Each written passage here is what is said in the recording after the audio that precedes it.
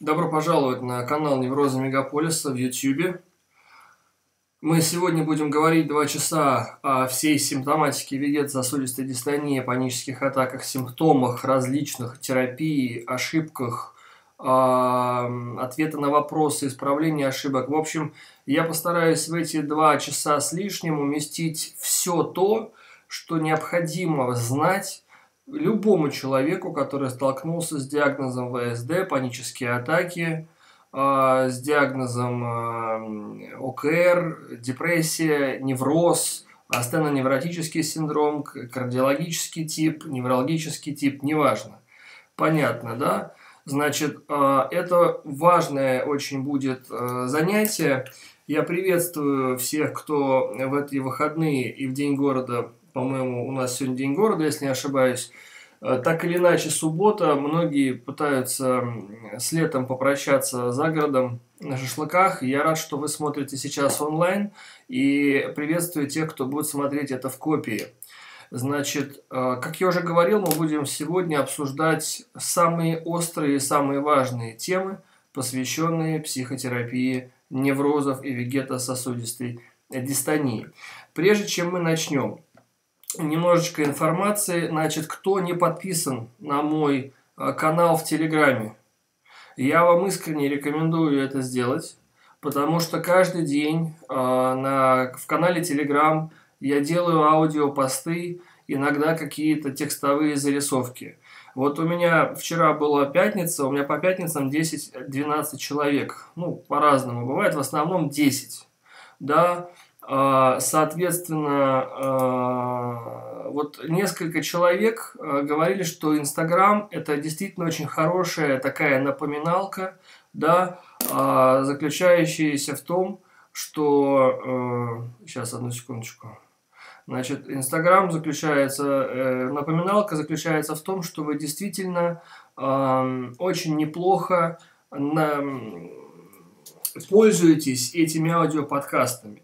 А, которые напоминают вам о ваших ошибках. Поэтому, кто не подписан в Телеграме, плюсики сейчас э, поставьте, кто не подписан. Я вам рекомендую подписаться. А, это не сложно, это всего лишь навсего Телеграм-канал в Телеграме. Вы просто добавляетесь, и вы будете слушать, когда у вас будет время, мое, а, значит, мое, мое гундошение – по поводу паники, неврозов, упражнений, ведения дневников, исправления ошибок, какие-то мысли, размышления. А, вот кто не подписан, сейчас плюсики поставили, да, телеграммы нет. Ну, надо установить, в этом нет ничего сложного. А теперь поставьте восклицательные знаки в том количестве, сколько кто подписан и кому нравится. От единицы до десяти. Давайте рейтинг небольшой сделаем. Кто подписан и кому нравится. Восклицательный знак 1 – это плохо, 10 а, это супер. А, я так понял, что никому не нравится. 10. О, спасибо. Спасибо. Я действительно каждый день стараюсь записывать много подкастов. Спасибо, ребят. Смотрите. Клево.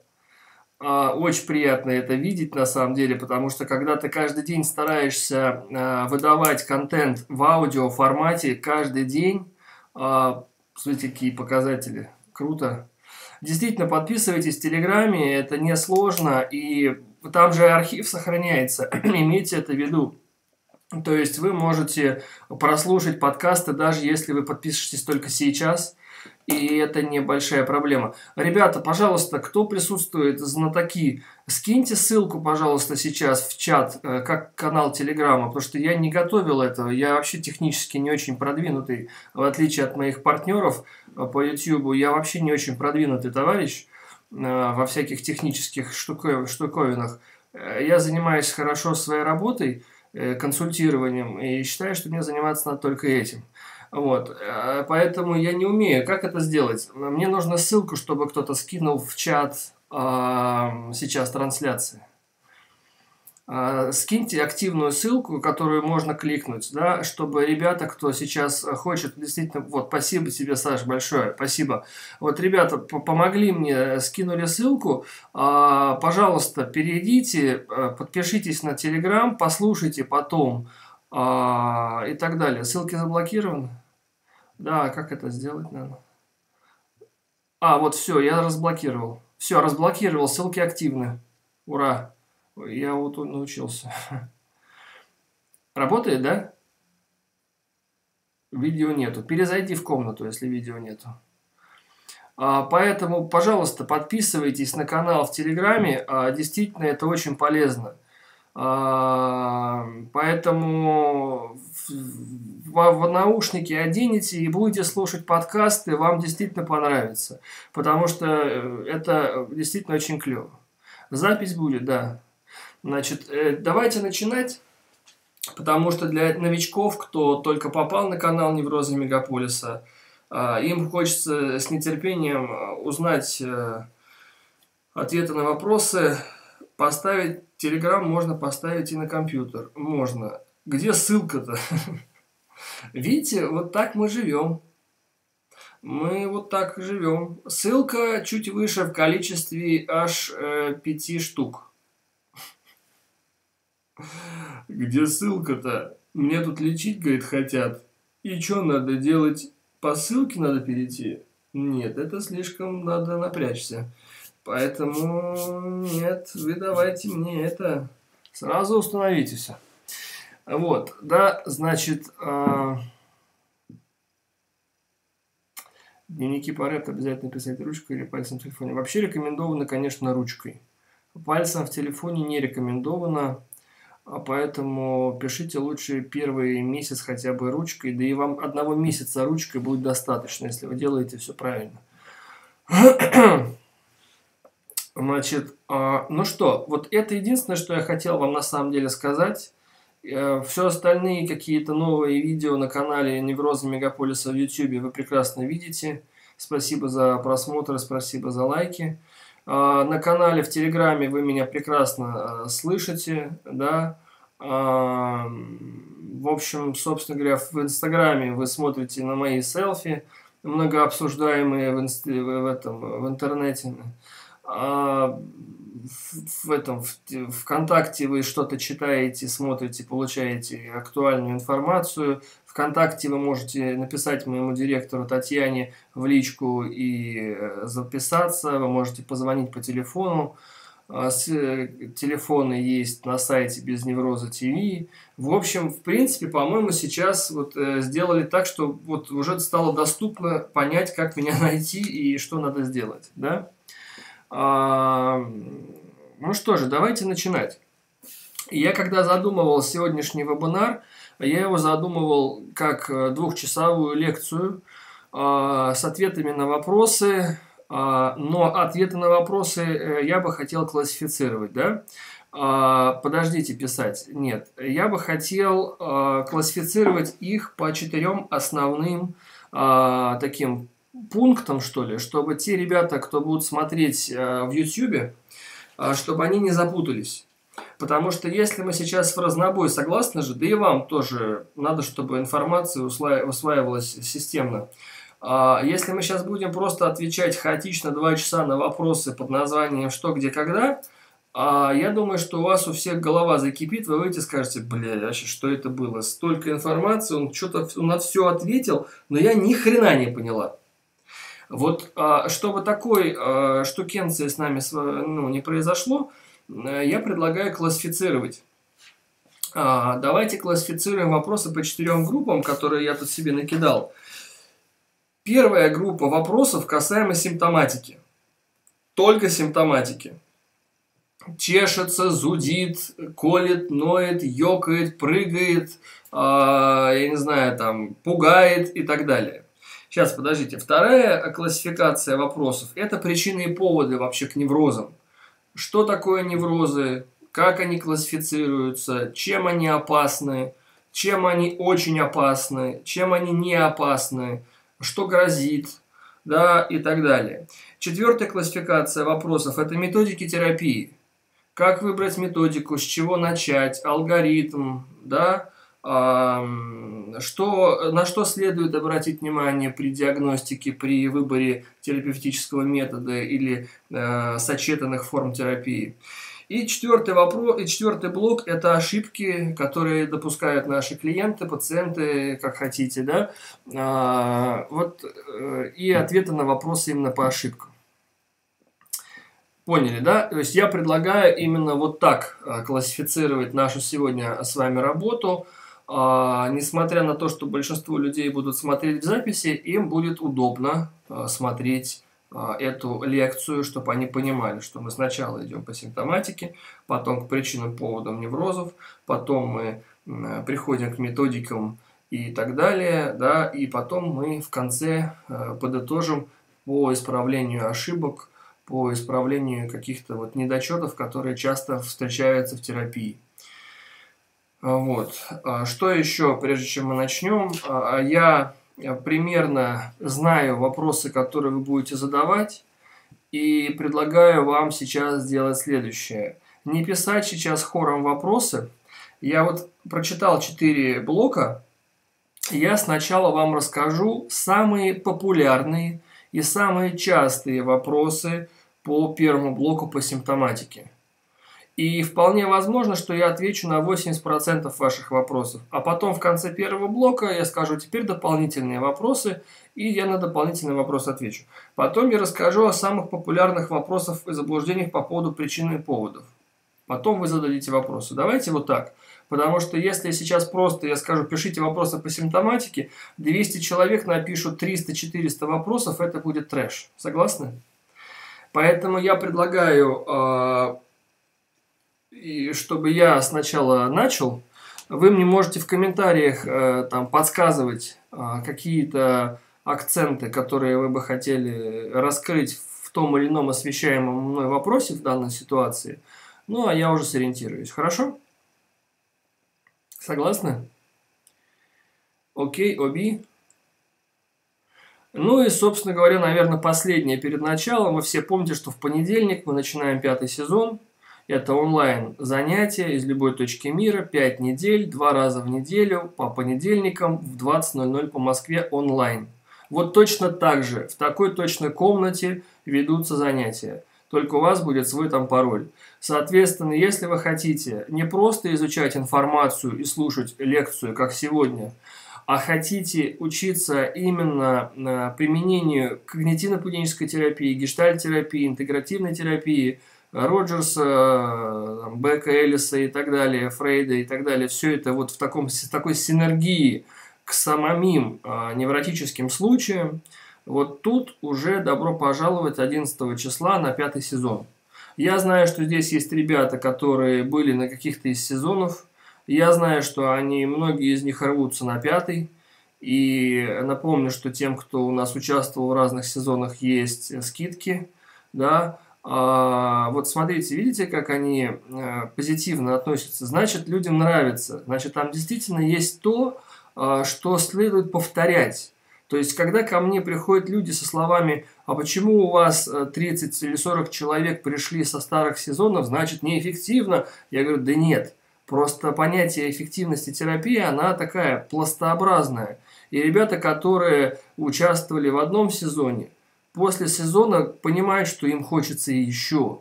И им хочется еще и понимать, и, и работать, и понимать, и работать. Это, наоборот, прекрасный показатель. А вот если бы люди уходили бы и не возвращались, а, это было бы совершенно по-другому. Поэтому те, кто был на предыдущих сезонах, у вас скидка 3500 все это стоит. Поэтому, соответственно, приходите с Татьяной связывайтесь. В понедельник мы уже... Симаков, ты-то точно, блядь, придешь. Сто процентов. Это мой э, коллега, э, который делает для вас, собственно говоря, все вот эти баннеры, сайты, Э, в общем-то, занимается технической частью. Вот это вот этот человек в, в солнечных очках, это он. Ему все претензии. Вот, да, а, поэтому, собственно говоря, вот так. Поэтому давайте, если кто хочет приходить, приходите. Кто еще думает, почитайте сайт Красиков э, онлайн.рф. Антона, напиши, пожалуйста, сайт ребятам в чате. Вот ты появился, спасибо тебе большое. А, напиши, пожалуйста, ссылку на, чат, на сайт э, пятого сезона, и мы начнем. Очень жду доску. Мы один, до 11 сентября. Потерпите, пожалуйста, ладно? И мы начинаем. Сейчас Антон напишет ссылку, чтобы вы ее там сохранили в закладке или куда-нибудь, чтобы потом вы не потеряли, но она, в принципе, вряд ли потеряется.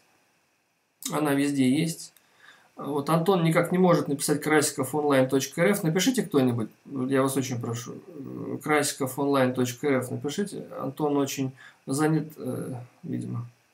Возможно. Э, ладно, давайте я попробую это сделать. красиковонлайн.рф Вот. А не работает. А как сделать так, чтобы работало? Ребят, я говорю, я очень плохо разбираюсь в этой истории. А как сделать так, чтобы ссылка работала? Как вы делали тогда рабочие ссылки? Вот это вообще-то не рабочая ссылка. Ну, неважно. Короче, вы поняли, красиковонline.рф, да, Uh, у меня улучшилась потенция после тренинга. Слушай, ну прекрасно. Много у кого чего улучшилось после наших сезонов. Uh, я по секрету хочу вам рассказать. А, я не делаю акцент на сезонах на терапии именно вот локально каких-то паник. Мы делаем акцент на терапии самого невроза. И по секрету, пятый сезон, в нем будет очень много интегрировано гештальт подхода. Имейте это в виду. В нем будет очень много интегрировано именно про чувства. Про чувства, про эмоции. Э, в нем будет очень много интегрировано истории про вот подход именно гештальт, про подход именно про эмоции, про осознанность, про контакт. Так что кому, а, собственно говоря, хочется, то, а, пожалуйста, милости просим. Ну, в общем, вы поняли, красиковонлайн.рф, пожалуйста, приходите на пятый сезон – это действительно очень полезно. 5 недель, два раза в неделю онлайн копии будут вам высылаться. А, будут высылаться каждый э, через, через день после занятий и так далее. Долго искал, кому обратиться, смотрел много людей. У нас в Казани очень много людей. В Казани, да. Но я думаю, что у вас больше всего ресурсов, чем... А, про ресурсы я вчера говорил в Телеграме. Послушайте ролики вчерашние в Телеграме. Я говорил много про ресурс. Если хотите, я сегодня об этом расскажу поподробней. Что такое ресурс и на чем основана терапевтическая помощь. Хотите сразу прям, ну, с места в карьер? Потому что я вчера в Телеграме это ребятам рассказывал.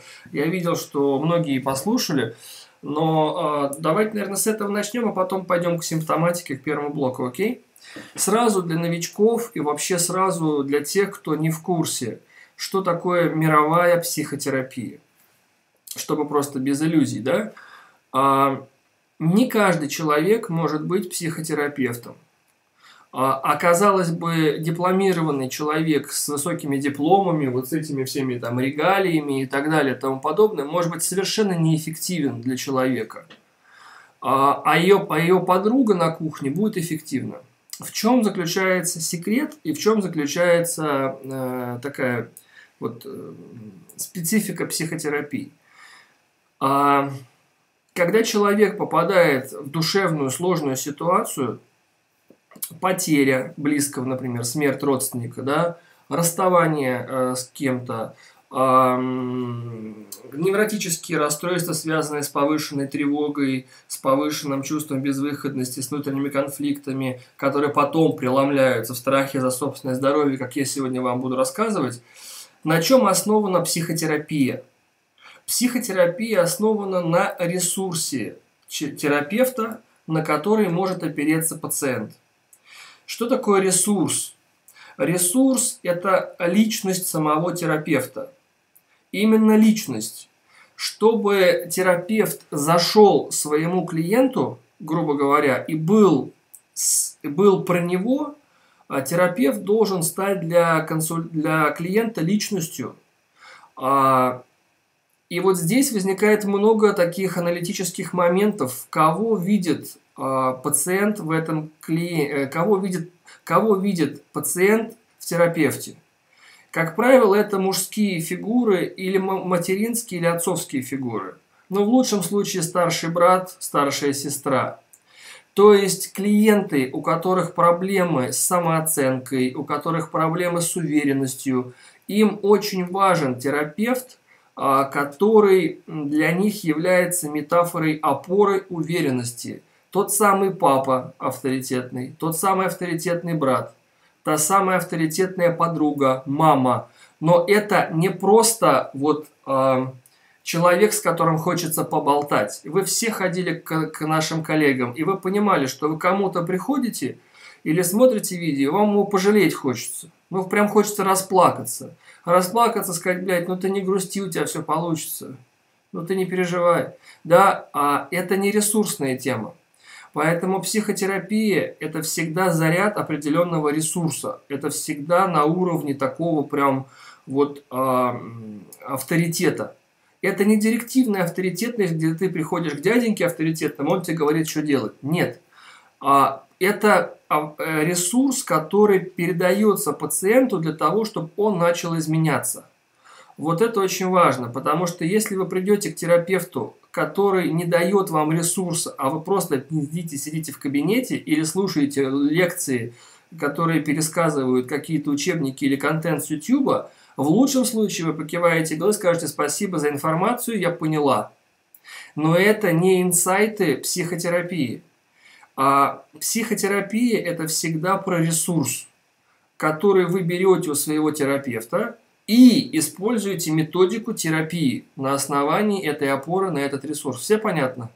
А поскольку все неврозы основаны на комплексе неполноценности и определенных потом последствиях, то чтобы исправить эти комплексы, чтобы справиться в работе над собой, требуется сильная опора в виде консультанта или ресурсного терапевта. Именно поэтому психотерапевты такие потом часто вымотанные, потому что мы отдаем именно эмоциональный ресурс в личной терапии или в групповой терапии. А, а есть а, мои коллеги, которые занимаются образованием.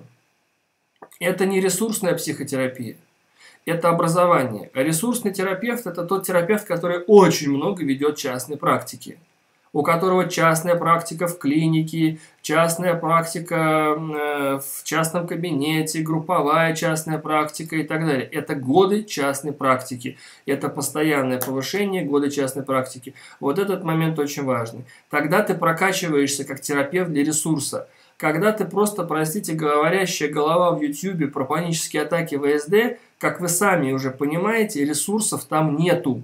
Там есть просто грамотное повторение контента с грамотным интернет-маркетингом, за что им огромное спасибо. Но очень важно понимать, что нужно опираться на ресурс именно по работе с самой самооценкой. Но про ресурс мы еще сегодня поговорим, поэтому э, забегая чуть-чуть вперед по поводу выбора. Э, здесь очень важно понимать, что выбирать э, своего терапевта надо будет вам отталкиваясь именно от ресурса именно от того ресурсного состояния, в котором вы находитесь после терапии или в процессе терапии. Не путайте образовательный контент в YouTube или в книгах с терапией. Это не терапия, это информирование пациента на первом этапе его терапии. Да, информирование важно. Вы можете пройти информирование в YouTube, вы можете пройти информирование в книгах. Нет никаких здесь э, нюансов. Просто надо понимать, что неврозы – это как такая сладкая вата, которая наматывается на одно, на другое, как вы уже поняли. И на последнем этапе невротического состояния, когда человек уверен, что у него сердце проблемы, инфаркт миокарда, и что паническая атака опасна, и что вегетатика опасна, эти люди неверно информированы. Все это понимают, ребят. Они неверно информированы про вегетососудистую дистонию, вас неверно информируют о том, какие симптомы с чем связаны. И вот именно из-за неверного информирования о том, что может произойти с вами и что не может с вами произойти, и создается дополнительная проблема, которая не дает вам а, ресурса для того, чтобы работать над самим неврозом. Потому что весь свой эмоциональный ресурс, опять же, вы тратите на что? Как бы, блядь, сегодня не умереть. Вы все, вот вы задумайтесь, вы весь день тратите силы на то, как бы не откинуться сегодня или не сойти с ума. Но в лучшем случае, чтобы вам только не стало хуже. И вы тратите силы огромные, согласны, на контроль, вы тратите огромные силы на внимание к своему самочувствию, вы тратите огромные силы на то, чтобы только бы не умереть или не стало хуже. А вот туда вы весь ресурс и, и уходит у вас. Поэтому, когда мы в психотерапии начинаем э, говорить о главных вещах, если не исправить вот этот первый момент неправильного понимания, то, э, например, вам терапевт там, скажет, э, вы знаете, очень похоже на то, что вы не очень можете принять решение в этой сфере. Даже если он прав, и он семь пядей во лбу, то пациент его не поймет. Потому что весь ресурс пациента тратится на убеждение о том, что от панической атаки он умрет, например. То есть вы не сможете а, сконцентрировать ресурс э, пациента в терапии невроза до тех пор, пока он убежден, что вегетатика опасна. До тех пор, пока он убежден, что он вот-вот умрет. А, до тех пор, пока он убежден в том, что вегетатика и паника и мысли соведут его с ума. Поняли, да? То есть а, информирование важно. Информирование очень важно – а, но я хочу вам всем сказать, что вы все очень неплохо информированы. Благодаря каналу Невроза Мегаполиса, благодаря каналам моих партнеров по YouTube, благодаря книгам, которые широкоформатно написаны по всей стране, вы информированы хорошо. Но здесь надо понимать, что помимо информирования надо смещать внимание на что? на саму терапию. На саму терапию именно невротического состояния. Вот что очень важно. Понятно? И вот здесь начнется то, что называется ресурсом. Когда вы прекращаете испытывать тревоги, сейчас мы как раз про симптомы будем говорить, по поводу паники, по поводу вегетатики, по поводу тахикардии, экстрасистол, кишечника, страх описаться, страх произвести плохое впечатление, а, контролировать свое самочувствие. Вот благодаря первому этапу терапии у вас что, Юля, правильно, у вас высвобождается ресурс на работу над самой причиной невроза а что происходит со мной такого, что я вот так испытываю такое напряжение, которое я от неправильного информирования неправильно поняла. Услышали мою фразу? Еще раз. А что происходит со мной такого в жизни, что вызывает у меня такое напряжение, которое я из-за неправильного информирования неправильно поняла и испугалась? Все вот это поняли? Вот этот этап является фундаментальным, но он только серединный. Ребята, чат работает, все хорошо? Понимаете? То есть первый этап терапии – это всегда информирование, и это всегда определенная методика для того, чтобы люди перестали тратить ресурс на веру в то, что они откинутся. Никто от неврозов не умер. От панических атак никто не умер, но поскольку сила невротического страха очень велика, клиенты убеждены, что вот-вот они откинутся, просто надо проконтролировать. А, сейчас мы будем говорить о каждом симптоме отдельно, окей? Вот, а, и как только у терапевта получается высвободить ресурс на второй шаг, вот тут начинаются уже изменения. Как только пациент, благодаря опоре на ресурсного терапевта, не на лекциям в YouTube, а на опоре грамотной работы в интегративном подходе. Потому что где-то клиенту надо дать поддержку, где-то клиенту надо дать гештальт упражнение, где-то клиенту надо дать симптом-центрированную историю, где-то клиенту надо дать анализа, где-то когнитивную терапию, где-то рационально-эмотивную терапию. И вот этот интегративный подход, вот в этом втором моменте, позволит осознать человеку, а что конкретно происходит с его жизнью что конкретно происходит с его мышлением, какие искажения, как он понимает обстоятельства, что конкретно происходит. Но тут опять же этого мало. Потому что даже если клиент больше не боится панических атак, вот напишите плюсик, кто, кто сейчас в такой когорте пациентов. Если вы даже не боитесь панических атак и не знаете, что симптомы безопасны, у вас все равно есть напряжение. Потому что, скорее всего, вы не доработали и не начали работать над вторым этапом. Вам просто, инфос, просто информирование, что вы не откинетесь. Правильно ведь? Вы прошли тренинги касаемо паники вегетатика, купили книги, прочитали, вы даже сделали упражнения. Вас хорошо информировали о том, что паническая атака безопасна. Вы себе это доказали упражнениями, поскольку поведение важнее, чем мышление. И вот тут начинается самое забавное, что панических атак нету, агорафобии нету, и вы не боитесь вегетатики, но вам в целом не легче. Самое забавное, что вот бывают случаи, когда у вас нет панических атак агорафобии, и вы не боитесь проявления невроза, но у вас по-прежнему есть, э, например, эм, какие-то ритуалы. У вас, например, по-прежнему есть заедание. Что такое заедание? Что такое нарушение пищевого поведения? Это сублимация невротического э, напряжения из основы невроза. Можно по-разному, конечно. Есть люди, которые любят, говорят, я просто люблю покушать. А, мы просто любим покушать. Нет. Это заедание внутреннего напряжения. Нарушение пищевого поведения, пищевого самоконтроля – это всегда указатель на главный невроз, которым никто еще не занимался. Оттуда и брызжет.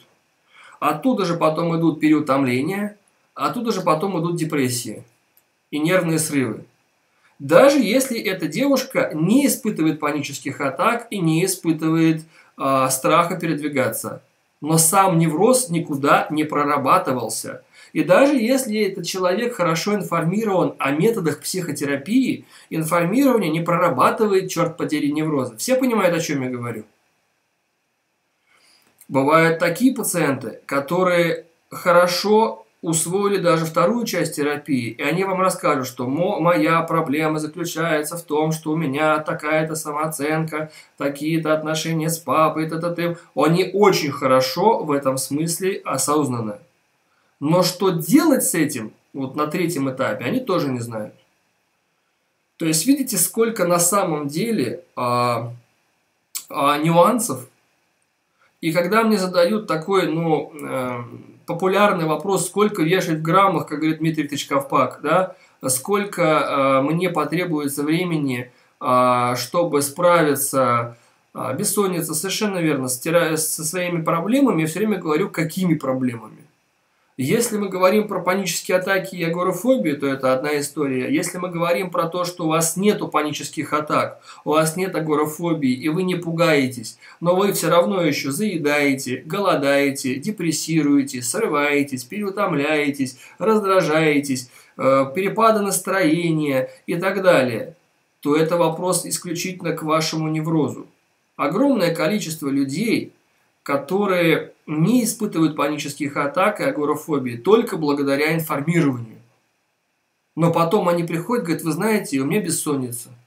Я спать не могу. Вы знаете, у меня какой-то перфекционизм, потому что я стараюсь все время как лучше, как лучше, как лучше, мне это мешает. А вообще еще э, разожралась, как корова, простите. Я что-то не контролирую, все мне нравится, нравится. Понимаете, о чем я говорю? Это указатель прямой на то, что психотерапия не начиналась. И если ее не начать, будет только хуже. Будет раскачка эмоционального состояния, и эта раскачка будет приводить постоянно к срывам, к депрессиям, к срывам в пищевом поведении. Потом вы будете смотреть на себя и говорите, блин, что же это такое, ну и так далее. Поэтому вот эти три этапа психотерапии всем клиентам надо понимать. И то, что такое психотерапевт. Психотерапевт – это личность, на которого хочется, ну, отчасти даже быть похожим. Давайте так. Вот без ложной скромности. Я просто своих терапевтов вспоминаю и вспоминаю себя в институте. Кто такой интроект? Интроект – это тот, которого ты уважаешь и который для тебя является опорой и э, ресурсом. Чтобы измениться клиенту, он должен интегрировать часть психотерапевта, и это гештальт-процесс называется интроекцией. Понимаете?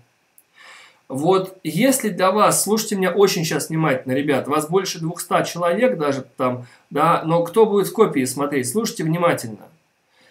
Зачем надо, чтобы терапевт стал для вас авторитетом и опорой и ресурсом? Потому что только тогда ваша психика будет готова его часть интроицировать в себя. То есть вы возьмете в себя часть его. И если он для вас является авторитетом и опорой, именно его часть вашей психики начнет работать над исправлениями тех ошибок, которые происходят в вашем мышлении. Все это поняли? Все это поняли. Если вы смотрите на терапевта, и вам его хочется пожалеть, если вы смотрите на терапевта, вы говорите, блин, слушай, братан, да у тебя у самого там куча проблем, которые вот на поверхности торчат, и мне это не нравится. Вы не сможете интроицировать его как терапевта, даже если он говорит правильные вещи.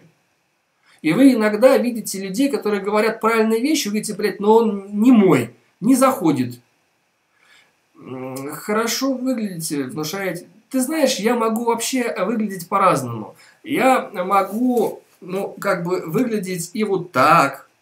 Э, я могу выглядеть вот так. Понимаешь? Я могу по-разному выглядеть. У меня нету здесь каких-то э, вопросов по этому поводу. А у меня нету здесь э, истории про то, что я должен хорошо выглядеть, чтобы понравиться своим зрителям у меня нет истории про то, что все должно быть правильно, чтобы меня любили. Поэтому э, спасибо за комментарии, что я хорошо выгляжу и внушаю доверие. Но выглядеть и внушать доверие а, не одно и то же. Вы, лучше так, ну видите. А вы можете, вы должны понимать, что м, м, терапевт ваш и ресурсный не тогда, когда а, он хорошо выглядит. Ваш терапевт это тогда, когда вы его смотрите, слушаете, говорите и говорите, блин, вот прям вот поговорил и чувствуется какая-то вот, э, чувствуется что-то, вот на что хочется опереться. Вы получаете силу, вы получаете энергию, вы получаете уверенность, вы получаете поддержку – вот это значит, вы получили ресурс. Понимаете, да? А бывает так, что вы смотрите, и вам пожалеть хочется человека. Вот и вот когда вам хочется пожалеть терапевта или у вас вот э, есть вот такие сомнения, то это просто не ваш ресурс. Так, понятно?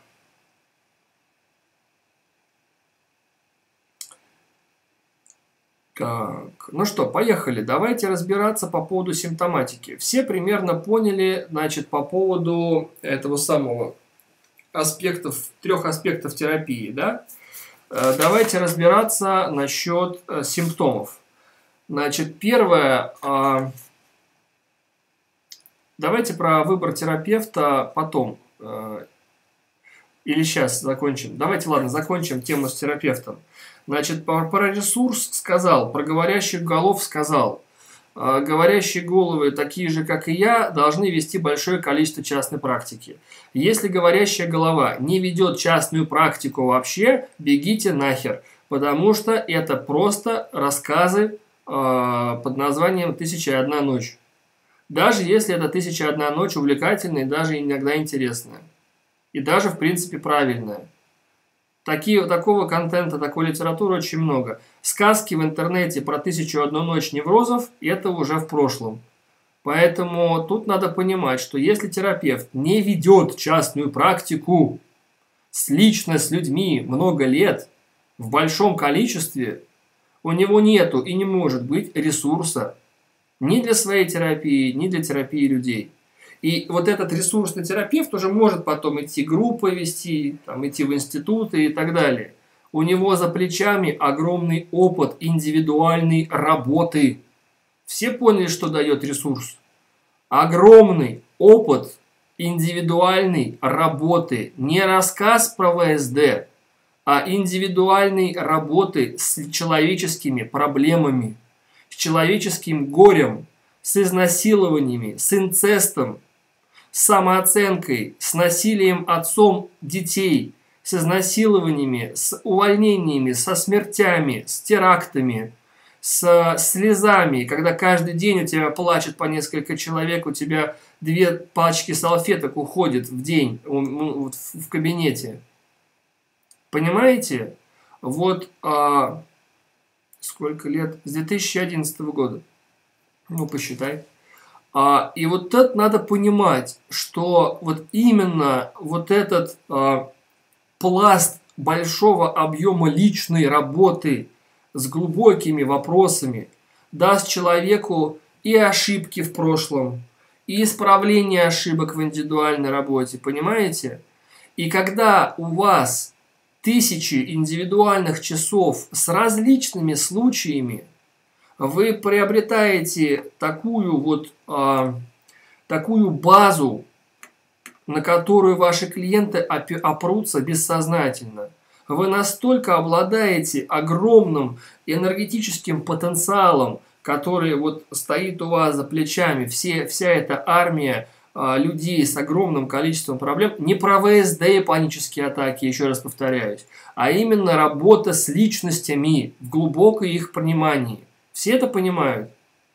Вон, я вчера показывал э, в Инстаграме. Вот опять же, это не про неврозы, и точнее не про ВСД. Вот смотрите, вот была клиентка.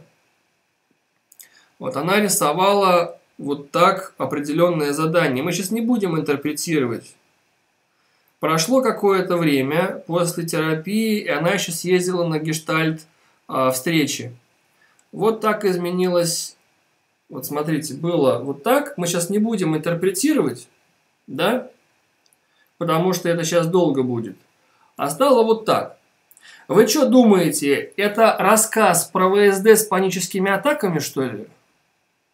Это и есть та история, где вы пытаетесь найти правильный подход к каждому тяжелому и сложному личностному случаю, который их... У этой девушки тоже были и вегетатика, и панические атаки, и вегетатики до сих пор присутствуют так или иначе в каких-то обстоятельствах, понимаете? Вот я про это. Поэтому, эм, закрывая вопрос, кого выбрать, Прежде всего спросите, сколько он ведет частной практики лет. Какой метод? Это важно. А потом уже просто надо пробовать. Посмотрите, если есть информация, видео, посмотрите, как вам заходит. А, посмотрите, насколько вам подходит словесный оборот, насколько вам подходит какое-то а, вот внутреннее ощущение.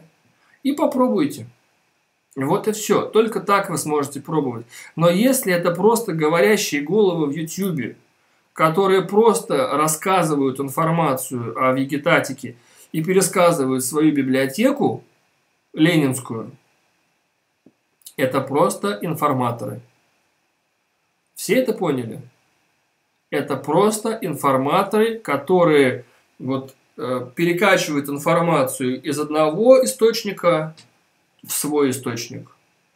Ну, это то же самое, что на РИА Новости вышло новости, все новости ее рассказали, все понимают, да? Вот э, именно вот личный опыт тысячи часов консультирования людей, не рассказ онлайн.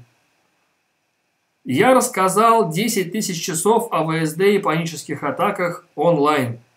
Я специалист. Что за бред? Ты 10 тысяч часов рассказала о том, что такое панические атаки. Ты просто хорошо это рассказала. А вот именно терапия – это совершенно другие вещи.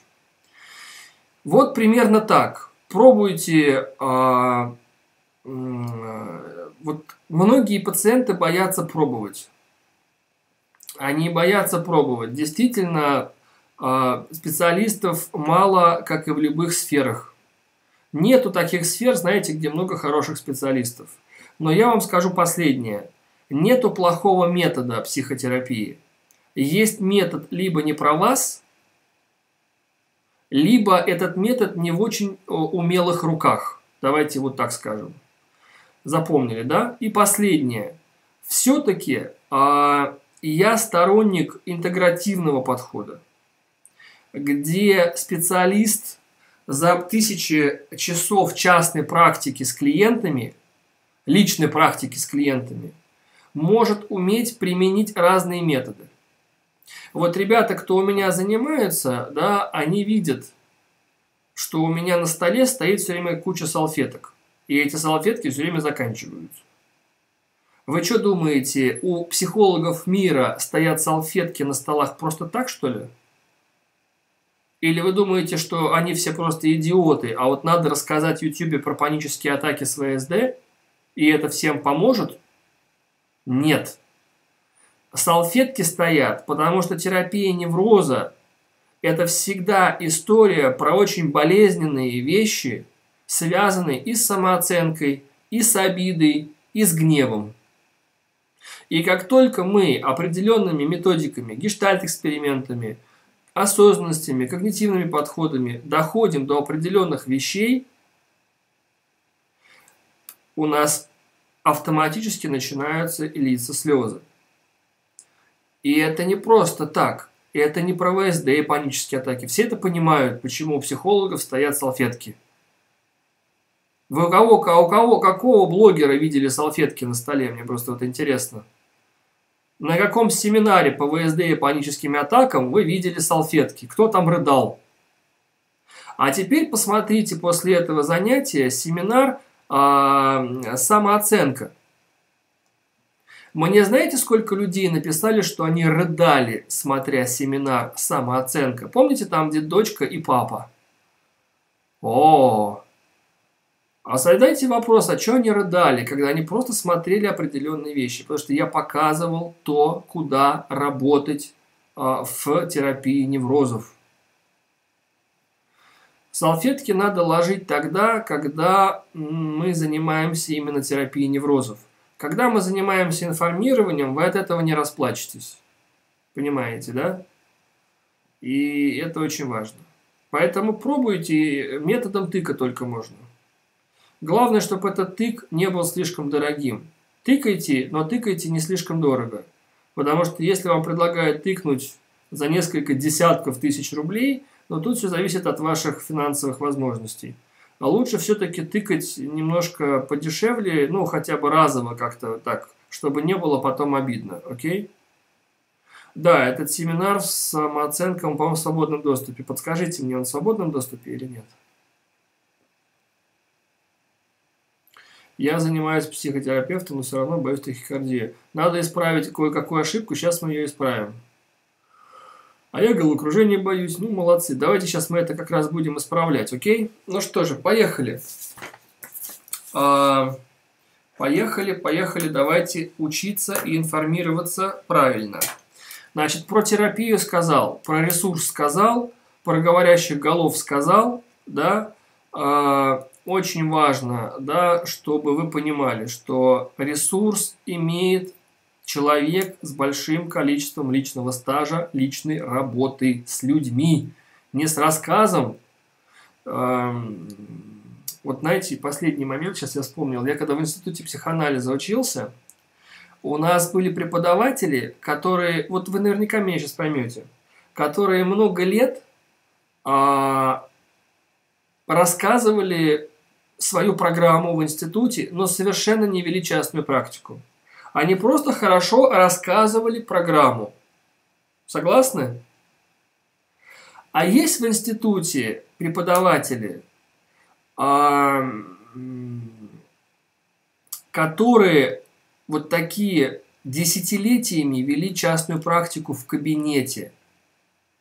И даже если эти люди вам по скайпу или онлайн начинают с вами заниматься, вы уже чувствуете такую внутреннюю силу, вы уже чувствуете такую глубину подхода, а не просто рассказ о той книге, которую я вчера прочитал.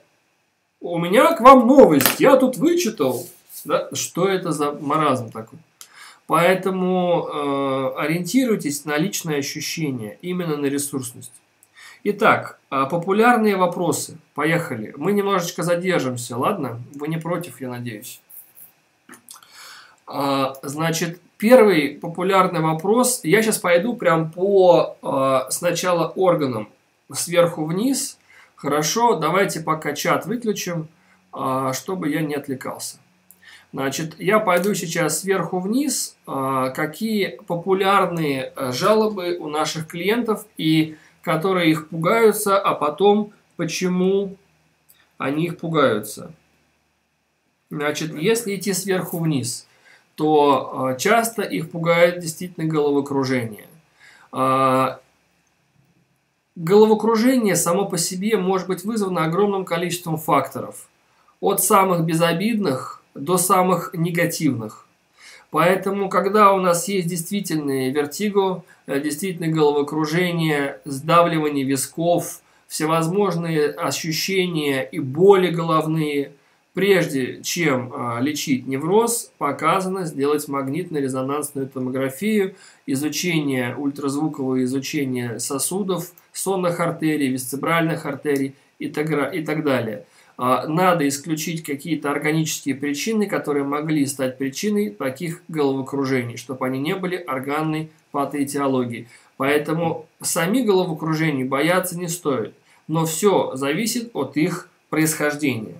Если вы прошли все обследования, и у вас нет никаких органных изменений, но у вас есть головокружение ввиду вашего эмоционального расстройства, и вам говорят ВСД, то понимаете, что ваше головокружение является субъективным состоянием расторможения центральной нервной системы, связанной с эмоциональным стрессом. И тут надо заниматься психотерапией и эмоциональной коррекцией. Про головные боли туда же. Мигрени. Головные боли имеют совершенно разную патоэтиологию. От онкологии до просто невротического срыва в истерическом э, варианте. Или хронического накопленного стресса – или повышением внутричерепного давления, или сотрясением мозга и так далее.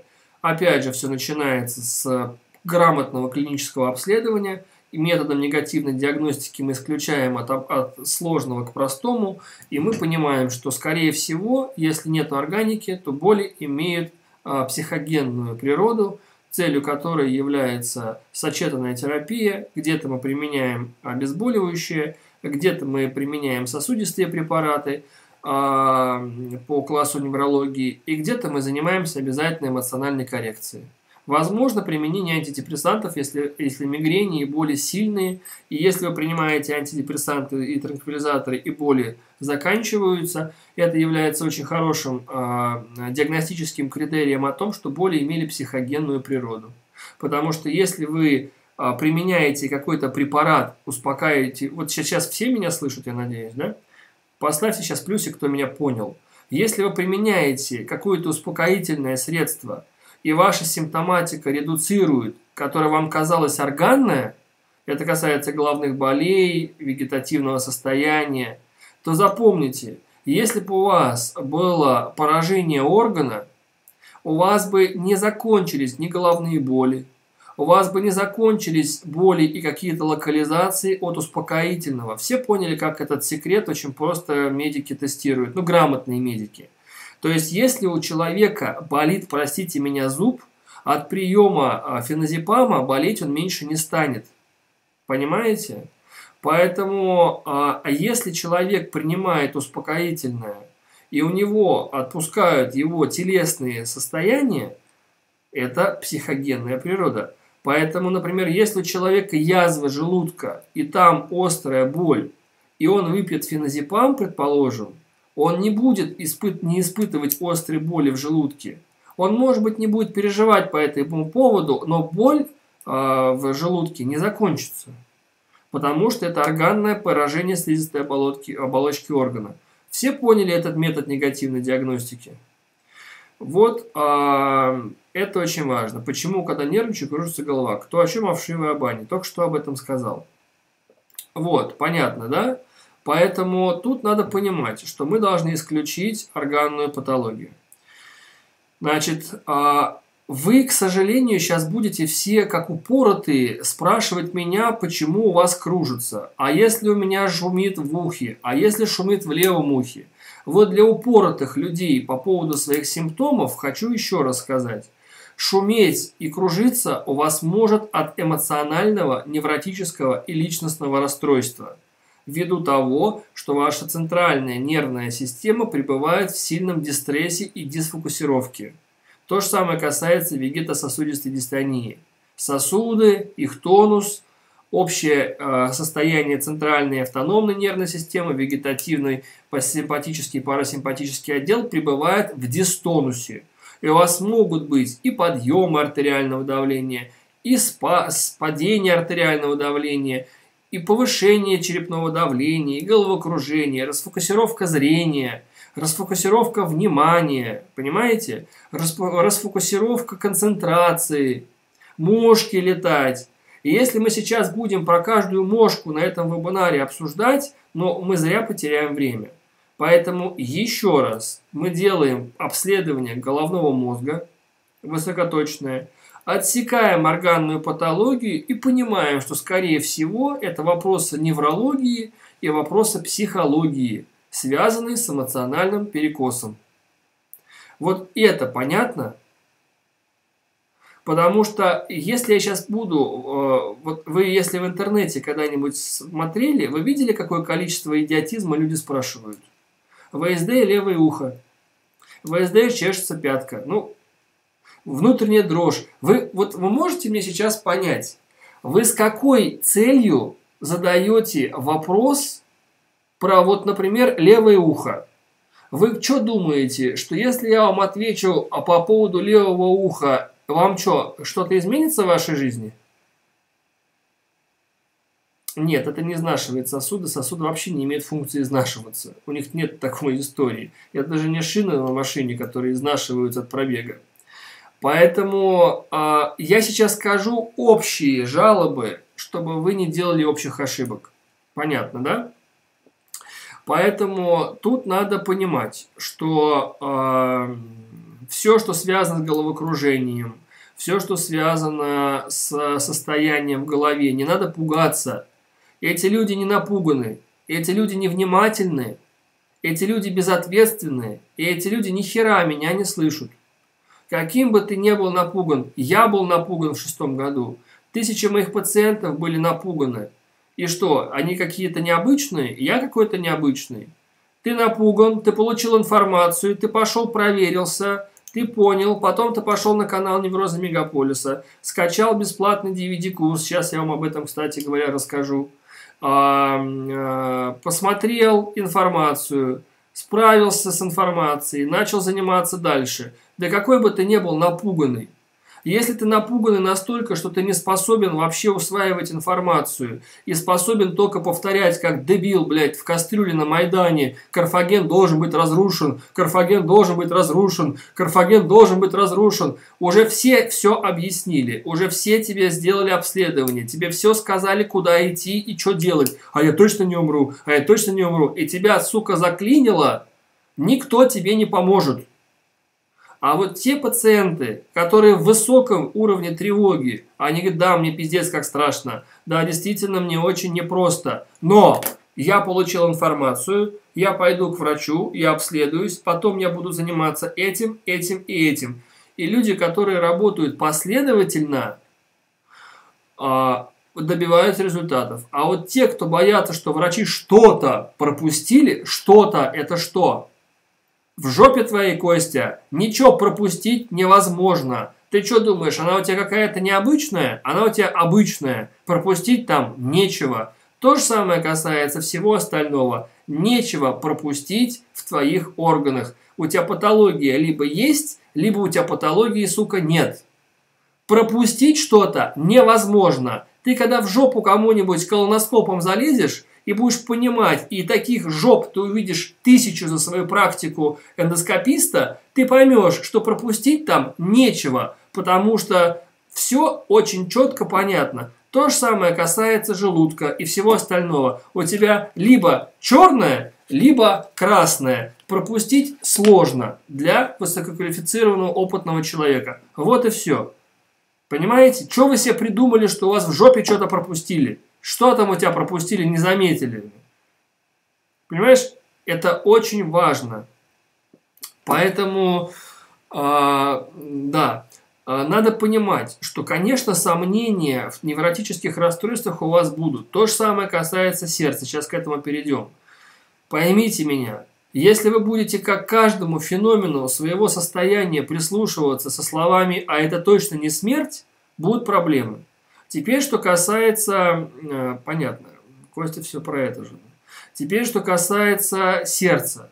А, действительно, и у меня такое было. У меня было и головокружение, и слабость, и ощущение мутности, и экстрасистолы, которые очень сильно меня смущали, и тахикардия, а, и так далее и тому подобное. А, сейчас объясню кое-что. Подождите, не пишите, чтобы не отвлекать всех остальных. Значит, послушайте меня внимательно. А, что вообще случ случается с кардиофобом? И что вообще случается с э, невротиками, почему они так сильно боятся различных вегетативных состояний? Например, экстрасистолы. Экстрасистолы – это дополнительная систола, экстра – это сверх или дополнительная, систола – это сокращение. Когда человек находится в эмоциональном состоянии, в эмоциональном расстройстве, все меня слушают внимательно. Сюда надо смотреть и слушать сейчас. Когда человек находится в эмоциональном расстройстве, его э, вегетативная система начинает работать очень активно – Сердце работает в процессе поляризации определенных микроэлементов. Калий, магний, там вот этот вот э, натриевый насос там и так далее. Как сокращается клетка, да, я про это. Когда человек находится в состоянии повышенного эмоционального стресса, у него напряжение в поляризации, если измерять поляризацию клетки и так далее, очень высокое. Отсюда возникают различные боли и радиации. Там, где не было невралгии межреберной, начинает колоть между ребрами. Там, где, там, где были защемления отростков в шейных грудных отделах, не кололо, закололо. Появились экстрасистолы. Почему? Потому что само эмоциональное невротическое состояние поднимает вот эту поляризацию. И вы просто начинаете вот чувствовать какой-то нервяк, и чувствовать вот усиленную работу вегетатики, потому что вы в эмоциональном расстройстве. Сами по себе экстрасистолы и сама по себе тахикардия не является опасной, она является естественной. Экстрасистолы субъективно опасны только тогда, когда вы в очень старшем, старческом возрасте, и тогда, когда у вас есть действительно серьезные патологии ритма и действительно серьезные патологии развития органа. Это врожденные пороки, это всевозможные а, серьезные виды аритмий, где дополнительные экстрасистолы могут стать триггером к началу чего-то. Но для этого это, это чего-то надо иметь. И вы должны быть достаточно в высоком возрасте уже. Если вы в среднем возрасте и кардиологи не видят проблемы, кроме как тахикардии и кроме как экстрасистол, то, как правило, грамотные кардиологи в лучшем случае скажут, ну, попейте э, магний B6, попейте магнирод, попейте ребоксин, попейте, я не знаю, панангин, попейте э, мелдронат. Это в лучшем случае, что они вам скажут. Иногда не очень э, э, кардиологи могут назначить аденобета-блокаторы.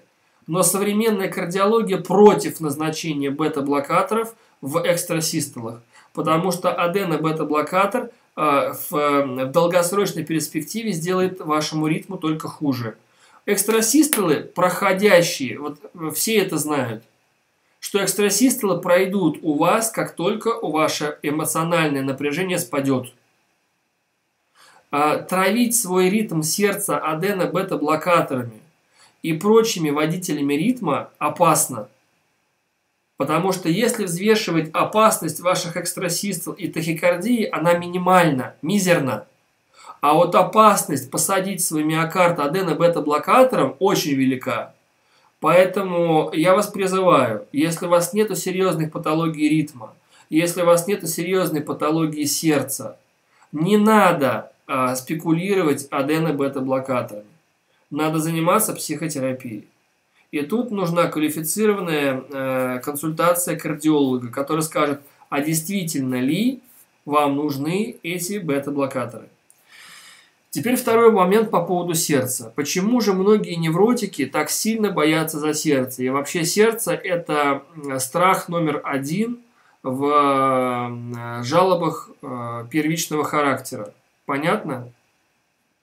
Вот этот момент надо понимать, что, слушайте меня сейчас внимательно, есть кардиофобы же, да, у нас наверняка здесь. Почему именно сердце так сильно будоражит неврозы, так сильно будоражит э, наших пациентов? Потому что сердце находится в ритме, и в ритме разном, и оно всегда ощущается. Вот, например, кишечник и желудок не ощущается, да, а вот сердце всегда ощущается. Вот, э, поэтому сердце очень удобно для постоянного снятия напряжения. Какого? Сердце очень удобно для постоянного контроля. Что такое переедание сладкого или переедание мучного или переедание вообще продуктов? Это компульсия, это сброс нервного расстройства в виде компульсии. А что такое проверка пульса или проверка давления? Это тот же самый сброс напряжения ввиду такой сублимации а контроль. То есть суть, логика одна. Я как-то сбрасываю напряжение. И вы все его сбрасываете либо в вегетатику, тахикардия, экстрасистола, кишечником в горле, вегетатика, либо это напряжение сбрасывается в пищевое поведение. Я просто люблю покушать. Я просто люблю покушать. Либо это, это сбрасывается в проверке, а точно будет все нормально, а точно будет все нормально, а точно будет все нормально. Либо вы это сбрасываете в состояние мышления. А вдруг у меня, а вдруг, ой, а чего это, ой, а вдруг, ой, а почему, ой, а если все-таки надо было. Все это поняли? Вот это сейчас все поняли?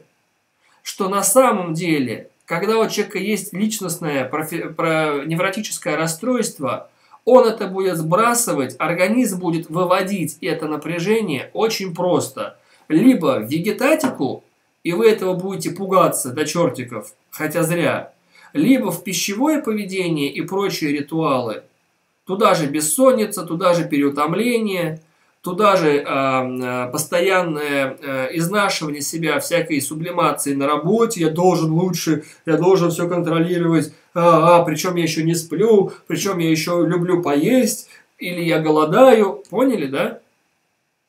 Вот я хочу, чтобы вы это поняли. Либо вы это сбрасываете в постоянные мысли, а вдруг у меня недообследовали, а вдруг у меня в кишечнике все-таки что-то нашли, а вдруг все-таки в желудке, а вдруг все-таки, а вдруг все-таки сосуды, а вдруг все-таки сердце, а вдруг все-таки это, а вдруг все-таки в анусе что-то пропустили, а вдруг, а вдруг я сойду с ума, ой, что я об этом думаю, блядь, я же об этом думаю, а раньше не думал, а раньше не думал, что я об этом думаю, блядь, а раньше не думал, ой, голая девушка, черт, голая девушка, а если мне накажет кто-нибудь, я подумал о голой девушке, о нет, так, ножи. Черт, не думать о ножах. А если сердце? А если дыхание? А если аллергия? Блин, аллергия была, а у мамы вроде была. А у папы была? Нет. Черт, а что я вспомнил про папу? Ой, кажется, папин член. Член папы. Нет, только не думать о папином члене. Так, стоп, о дыхании. Вы что думаете? Это нормально? Вы поняли? Вы так себя ведете. И это и есть невроз.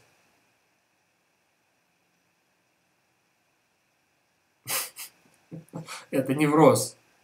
Поэтому надо понимать, что когда у человека личностная проблема, а, он это будет сублимировать в тело, в поведение и в мыслительный процесс.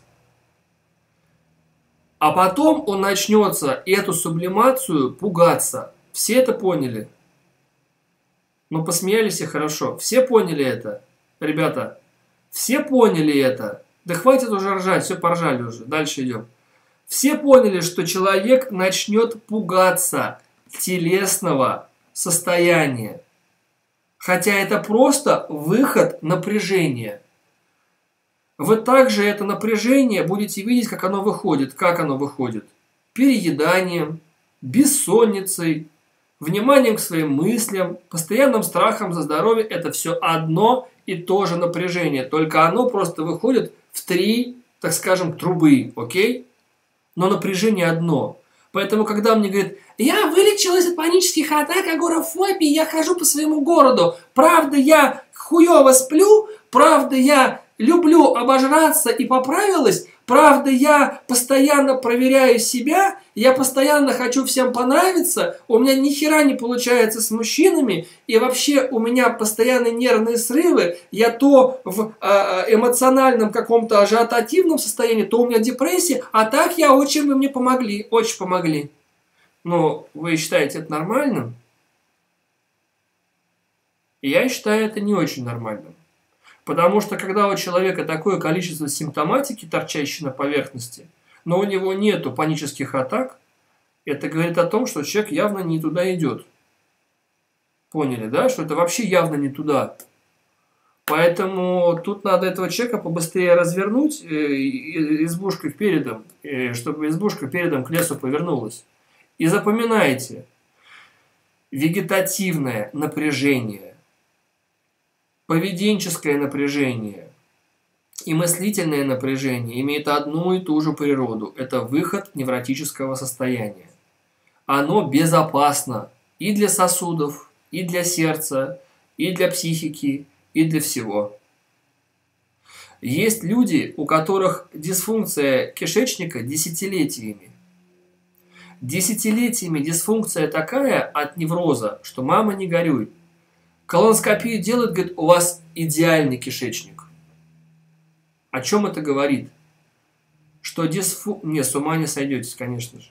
Что дисфункция кишечника десятилетия от невротических расстройств тоже не соматизирует кишечник до чертиков. Поймите вы это. Десятилетиями люди испытывают невротические расстройства, они с ума не сойдут. Я об этом видео снимал. Давайте про симптомы дальше пойдем. Поэтому, ребята, сердце очень удобно пугаться. Вы просто пишем вместе со мной. А, вот сейчас отвлекитесь, пожалуйста. Вы находите, пишем такое слово крупными буквами вместе со мной. Обоснование. Вот это очень важно. Обоснование. А, когда я слышу про нарушение пищевого поведения в виде обжорства или в виде анорексии, в виде голодания, это сразу личностная проблема. Вот серьезно. Потому что а, есть классы невротиков, которые не объедаются, а есть классы невротиков, которые объедаются. И по моим наблюдениям, и по наблюдениям моих коллег, нарушение пищевого поведения – это все-таки более сложный невроз, нежели просто классический невроз. Все это понимают? Потому что если вы понаблюдаете, вот напишите плюсик, вы знаете людей, кто объедается мучным, э, кондитерскими изделиями? Вы знаете таких людей? Вот если вы таких людей знаете, то вы увидите, или, например, анорексичкой, э, ну, те, которые худеют постоянно и блюют там, да, ходят.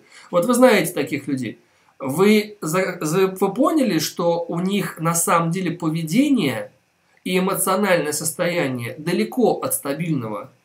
Все это почувствовали?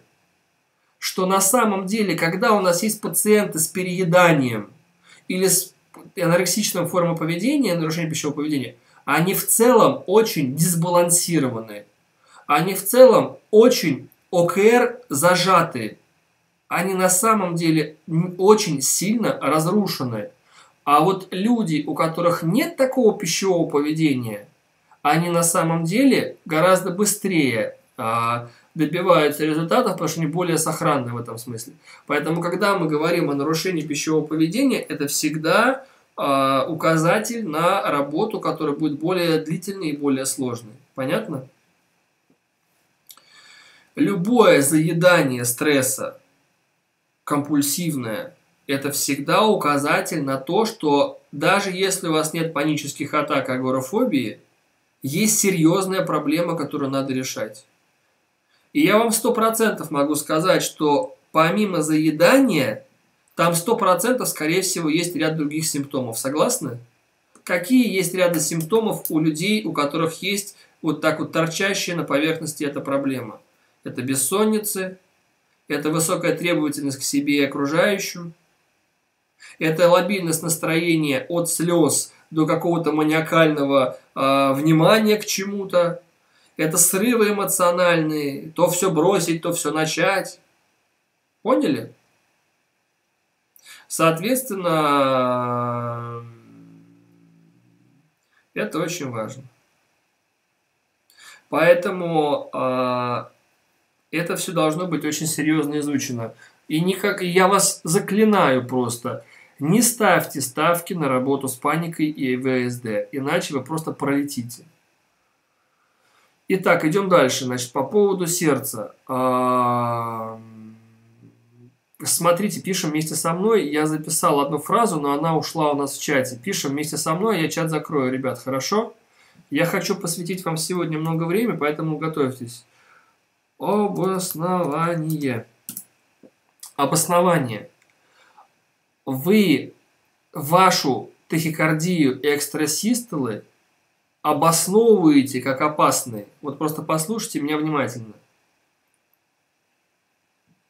Смотрите, как это выглядит. Пишу систола. Потом у вас идет обоснование. Почему это опасно? Так? Потом у вас идет поведение, устранение систолы. Вот так это и, и называется рефлекс э, условный. Условный и безусловный рефлекс – это все сюда. То есть смотрите, что вы делаете. Сейчас не комментируем.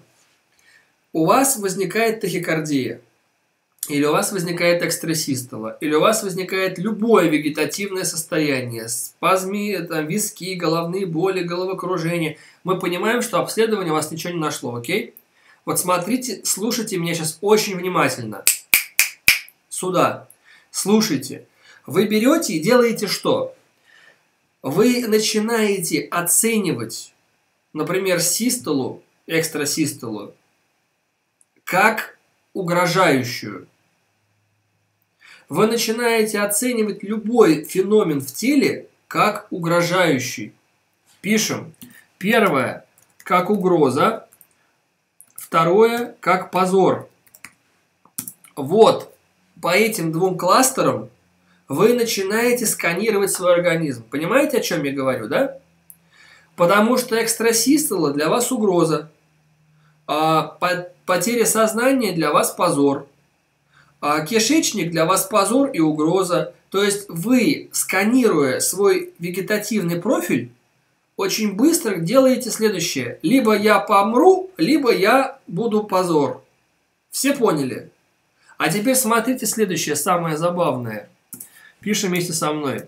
На каком основании я трактую, что это вместе со мной пишем либо а, угроза, либо позор. Вот подчеркните слово «на каком основании». Ребята, всем заходит то, что я пытаюсь вам объяснить? Паническая атака для вас угроза. А, или позор. То есть у вас все в голове классифицируется либо угроза, либо позор. Либо угроза, либо позор. А теперь давайте задумаемся немножко про терапию симптомов. А на каком основании вы стали считать, что экстрасистола – это угроза? А на каком основании вы стали считать, что потеря сознания – это позор? Пишем вместе со мной. Не отвлекайтесь. Я вам сегодня дарю очень много терапевтического момента. Слушайте внимательно, потом это не повторится никогда. Окей? На каком основании феномены в теле вы стали интерпретировать как угроза или позор? Пишем вместе со мной. А, основание. Основание для интерпретации. И вот тут возникает самое забавное. Основание для интерпретации у вас это домыслы. Это домыслы. Это как будто. Это а вдруг. И это, э, ну, назовем это так, творческие фантазии. Но теперь пишем со мной большими буквами. Но никак не факты. Вот тут возникает самое забавное. Например, возьмем экстрасистолу. Вот у вас промелькнуло от невротического состояния экстрасистола. Смотрите, что вы делаете. И вы за долю секунды говорите, ой, это опасно, потому что я слышала где-то, это нормально, это ненормально. Знаете, какой домысел я вспомнил? У вас, вы сейчас все засмеетесь. Вот, вот сейчас все засмеются. Знаете, какой самый главный домысел у вас, который вам запихивает в голову, сука, эту проблему? Хотите узнать это? Вот посмеетесь сейчас. Вы сейчас охереете от этого домысла. Вот именно вот это. Этого раньше не было. Именно этот факт для вас является железобетонным. Вы где, у меня этого раньше не было, значит это патология. Вот так у вас выстраивается в голове логика. Если вы раньше не испытывали такой тахикардии, или если у вас раньше не было такой вегетатики, а сейчас появилась, значит вы заболели. Логично? Для вас да, для меня нет. Потому что если у меня сейчас вегетатика, для меня это означает, что я сейчас нахожусь в эмоциональном состоянии. А для вас это означает, этого раньше не было, значит я чем-то заболела, а если это сердце, я слышала про инфаркты, про инсульты, у вас промелькнула дуга, и вы сказали, блядь, пиздец, я подыхаю. А для меня это просто вегетативное напряжение, потому что я э, эмоционально нахожусь в состоянии, где мне э, там что-то надо делать, например. Или я о чем-то переживаю. Или, например, у меня родственник при смерти. Понимаете? Это не могло привести к потере сознания. Ваша потеря сознания или около этого было либо не связано с неврозом вообще, либо это было ощущение, что вот-вот. При настоящих невротических реакциях люди, как правило, сознание не теряют. Давление может упасть, но оно, как правило, не падает ниже критической отметки. А, это ощущение, что вот-вот, потому что действительно со, со, со, со, давление может упасть. И ощущение, что вот э, как бы вот оно сужается, сужается, сужается, сужается, сужается, и вы уже не чувствуете щек, вы уже не чувствуете ног, у вас уже по спине потекло, по груди потекло, и вы уже готовы, блядь, пиздануться, простите, на этот пол, но потом в какой-то момент организм выбрасывает долю адреналина в кровь, и у вас, и у вас давление бац и обратно. То есть, когда давление начинает падать из-за дисфункции, из-за из из невроза, у вас организм резко выбрасывает адреналин, и вы бам, и восстанавливаетесь в какой-то момент. Сейчас расскажу про падение давления, кстати, сразу. Когда, если есть новички, у которых есть вот этот вот падение давления феномен, с сужающимся коридором от падения давления, слабость, под, начните активно шевелить пальцами ног изгибание а, кистей. Просто начните активно шевелить пальцами ногах, на ногах и, и изгибать руки в кистях. Что вы таким образом делаете? Кто догадывается? Когда вы начнете активно шевелить пальцами ног и сгибать руки в кистях. Так и делаю интуитивно. Ваш организм все делает правильно. Не кровь разгоняет. Он запускает кровообращение с целью подъема артериального давления – вы таким образом балансируете на самом деле давление. То есть вы его немножко нагнетаете. Вот и все. Итак, возвращаемся к нашему очень важному тезису, который является сегодня фундаментальным по классу симптоматики.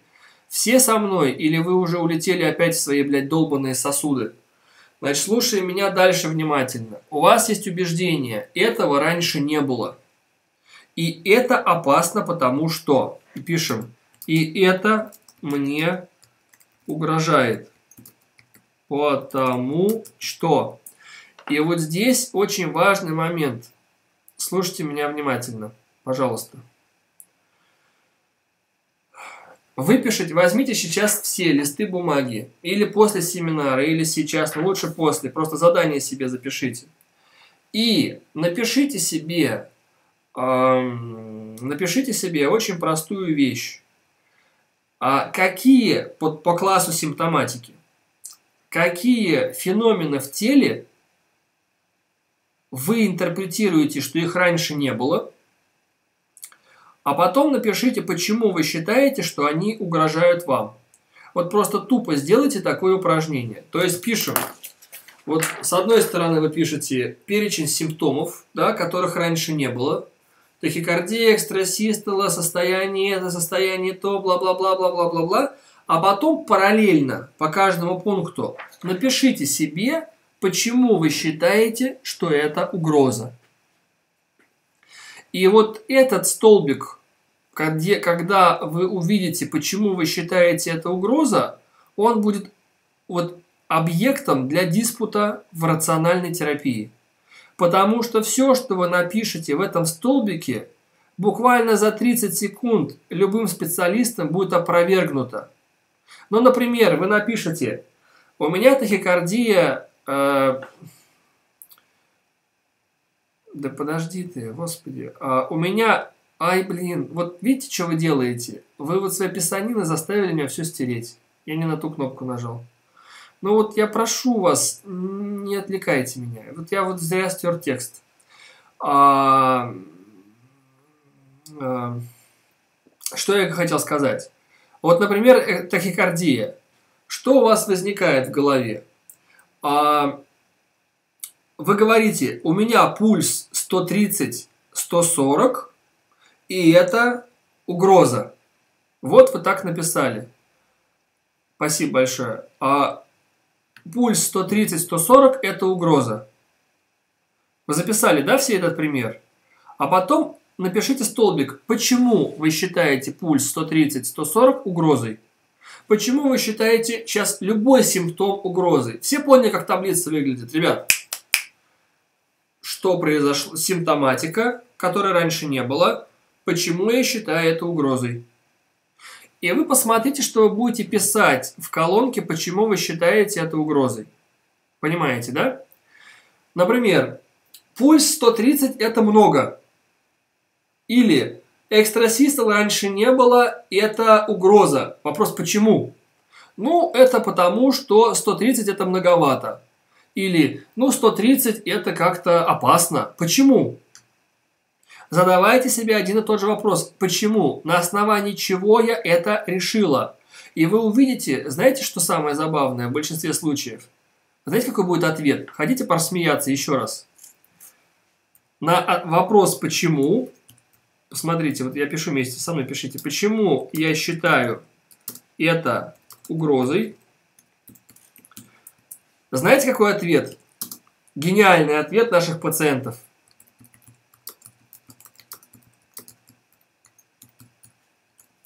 Ответ гениальный следует. Потому что мне так кажется. А еще лучше, и я так чувствую. Или такое, такое, такое ощущение что я вот, а, что я вот-вот. Вот у них вот так это выглядеть будет. У них в дневниках это всегда выглядит вот так. У тебя пульс 130, да. Ты считаешь это угрозой? Да. Почему? Ну, потому что это много. Почему? Ну, потому что ну, раньше такого не было. Ну, а почему угроза? Ну, потому что... Да подожди ты, ё-моё. А, ну, потому что, а, ну, как бы, не знаю, ну, мне так кажется, у меня такие ощущения, что вот это опасно. Понимаете, да, к чему я сейчас клонить буду? А, у тебя болит голова, или там у тебя а, расфокусировано зрение, ты проверилась, и ты считаешь, что это признак сумасшествия, надвигающегося, например. И ты пишешь, а, расфокусировка зрения, считаю, что это признак шизофрении. На основании чего так считаешь? Что врачи сказали? Врачи сказали ВСД. Угу. Но на основании чего ты считаешь, что это признак шизофрении? Что это вот-вот ты сойдешь с ума? Ну, ну не знаю. Ну, такое чувство, что я вот-вот сойду с ума. Поняли, как эти клиенты рассуждают? Нет там никаких норм. Вот возьмем, например, сердце. Вот поднимите руку, кто считает, что у сердца есть какие-то нормы. Мне просто интересно. Вы что, считаете, что пульс, э, у, у пульса и у давления есть нормы? Вы правда так думаете? И вы считаете, что пульс 130 это не норма? Правда? Кто сейчас более-менее осведомлен? Да вы что, серьезно? Какой бред? Откуда вы это взяли? Вы где-то, Александр, вырвали из контекста цифру 120 на 80, но у вас не хватило желания понять, с чем эта цифра связана. Нету никаких примерных норм. И врачи так не говорят. Смотрите, в чем подстава вашего, вашей безграмотности. Сейчас объясню вам. Просто, чтобы вы поняли это раз и навсегда. Ну, хотя наверняка куча упоротых, которые это не поймут. Они сейчас посидят и пойдут писать на своих форумах «Крашков сказал, что пульс 130 это нормально, а еще у него спина волосатая». Ну, они такие у нас, ребятки, они все очень забавные. А, смотрите, все, спасибо, я сейчас вам поясню. А, значит, нормы во-первых, ощущения все, которые вы испытываете вегетативно, это история не про нормы. Это всегда история про как будто. Все это поняли? То есть давайте запомним. Вы должны четко увидеть, какими иллюзиями вы считаете, что это опасно. Все это поняли? А теперь смотрите по поводу пульса. Например, давление 120 на 80 – это давление среднестатистическое, потому что есть гипертоники, есть гипотоники. Это некая средняя цифра по больнице. Пишем. Вот это, вот товарищи в кастрюлях, особо внимательно сейчас пишем.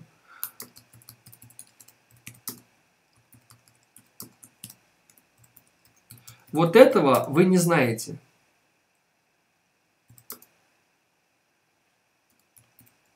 Вот вы сейчас это поймете, я надеюсь. Вот прям татуировку себе, блядь, сделайте на лбу. Вот особенно упоротые про пульсы, про панические атаки и про тахикардию. Вот это сейчас запишите себе большими буквами на заднице. Давление и пульс измеряется относительно физического покоя и эмоционального покоя. Не надо быть гениальным человеком, чтобы понять, в каком состоянии находится невротик. Когда человек убежден, что у него что-то с организмом, когда человек ждет, что ему диагностируют какую-то проблему, о каком, блядь, состоянии покоя идет речь?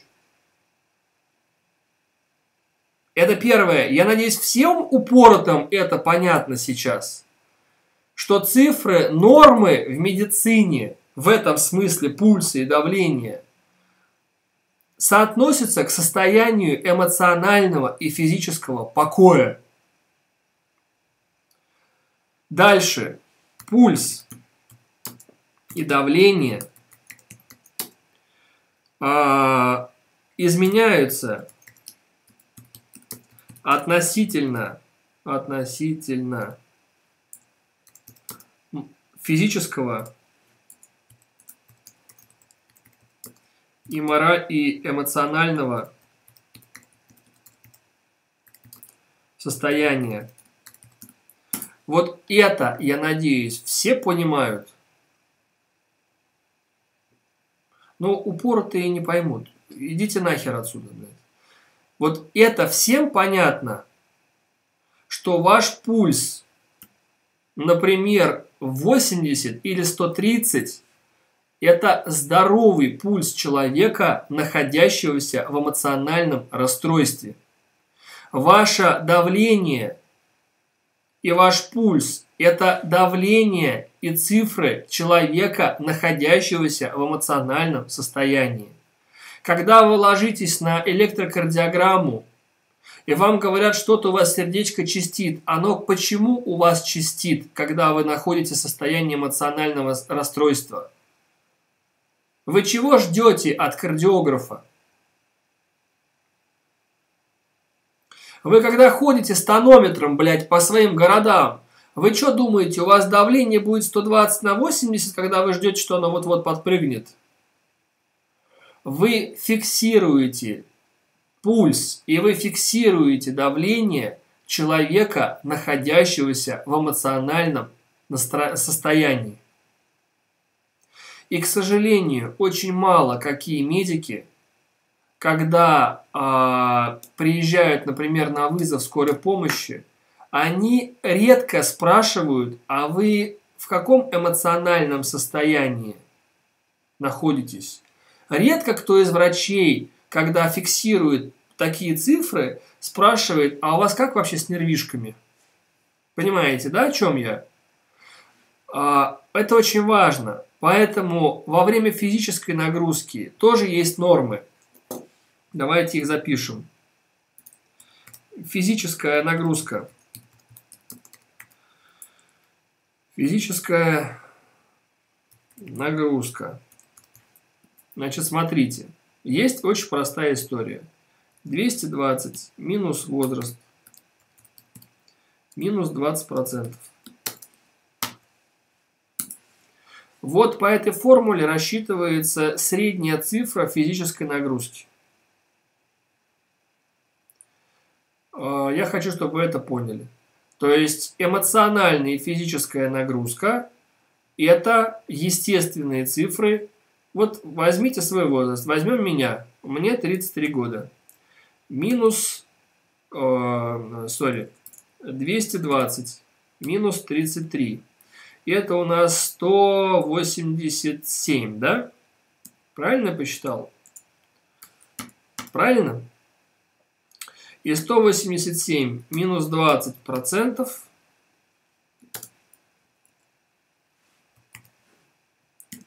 Сколько это у нас получается? Ну, примерно минус 36, минус 37, 220, 187 минус 37, 160, 180, 170, 187 минус, э, па -па -па -па -па -па, минус 36. 149, 150, ну где-то так. Вот 150 это примерно мой средний пульс при физической и моральной нагрузке, который в принципе будет абсолютно естественным между подходами в спортзале, который будет естественно. Во время упражнения мой пульс будет примерно 187. Вот и все. Есть выше 187, должно подниматься под идеей. А, подниматься может, но он не поднимется выше, потому что сердце не может поставить такие цифры, которые биологии не прошиты. Я слышал у кого-то, Николай, вот, вот это вот я слышал у кого-то, а, любой адреналин, любая физическая нагрузка будет у вас укладываться в эти цифры. Все очень-очень несложно. Просто надо слушать меня внимательно, а не что-то где-то и так далее. 220 минус возраст минус 20%. Это средний пульс рабочий моего состояния. Мой верхний пульс будет стараться, я буду его убирать не выше 188 примерно. Вот примерно так это будет. Если я буду в кроссфите херачить как лошадь, у меня пульс может быть и 200. Пишем дальше со мной и тему с э, пульсом закончим, хорошо? Потому что иначе мы, вы настолько упороты этой темой, что вы можете до, до утра. Значит, лыжники, э, велосипеды, велосипедисты, велоспорт и так далее едут марафон на каком пульсе? На пульсе 220. Вы что думаете, они из Африки или из какого-то Марса прилетели, что ли? Кто занимался биатлоном? Кто занимался велоспортом? Я надеюсь, есть такие, хотя вряд ли. вы помните, что вы тренировались на каком пульсе. У вас вилка пульса выносливости 200-220. Вот и все. У меня возникает вопрос к упоротым. Вы какого хера считаете пульс 120-130 опасным относительно и эмоционального и физического состояния? Можете сейчас это понять? Насколько вы... У меня 218 на велике. Ну, все правильно. А вот эти упоротые люди про сердце, они насколько, на каких основаниях начали считать, что их пульс, сука, 130 опасен?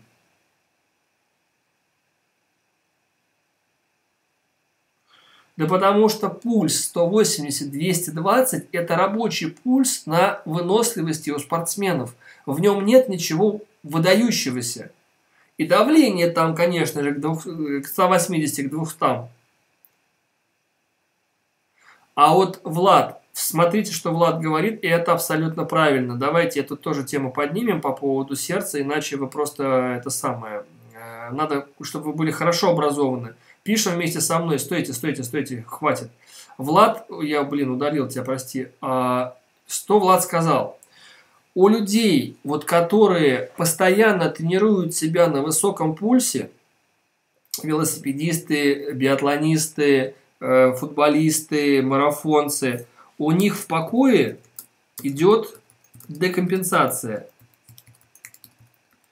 так называемая брадикардия у всех профессиональных людей, которые постоянно работают на высоком пульсе, у них пульс покоя может достигать 45-50 а, ударов в минуту.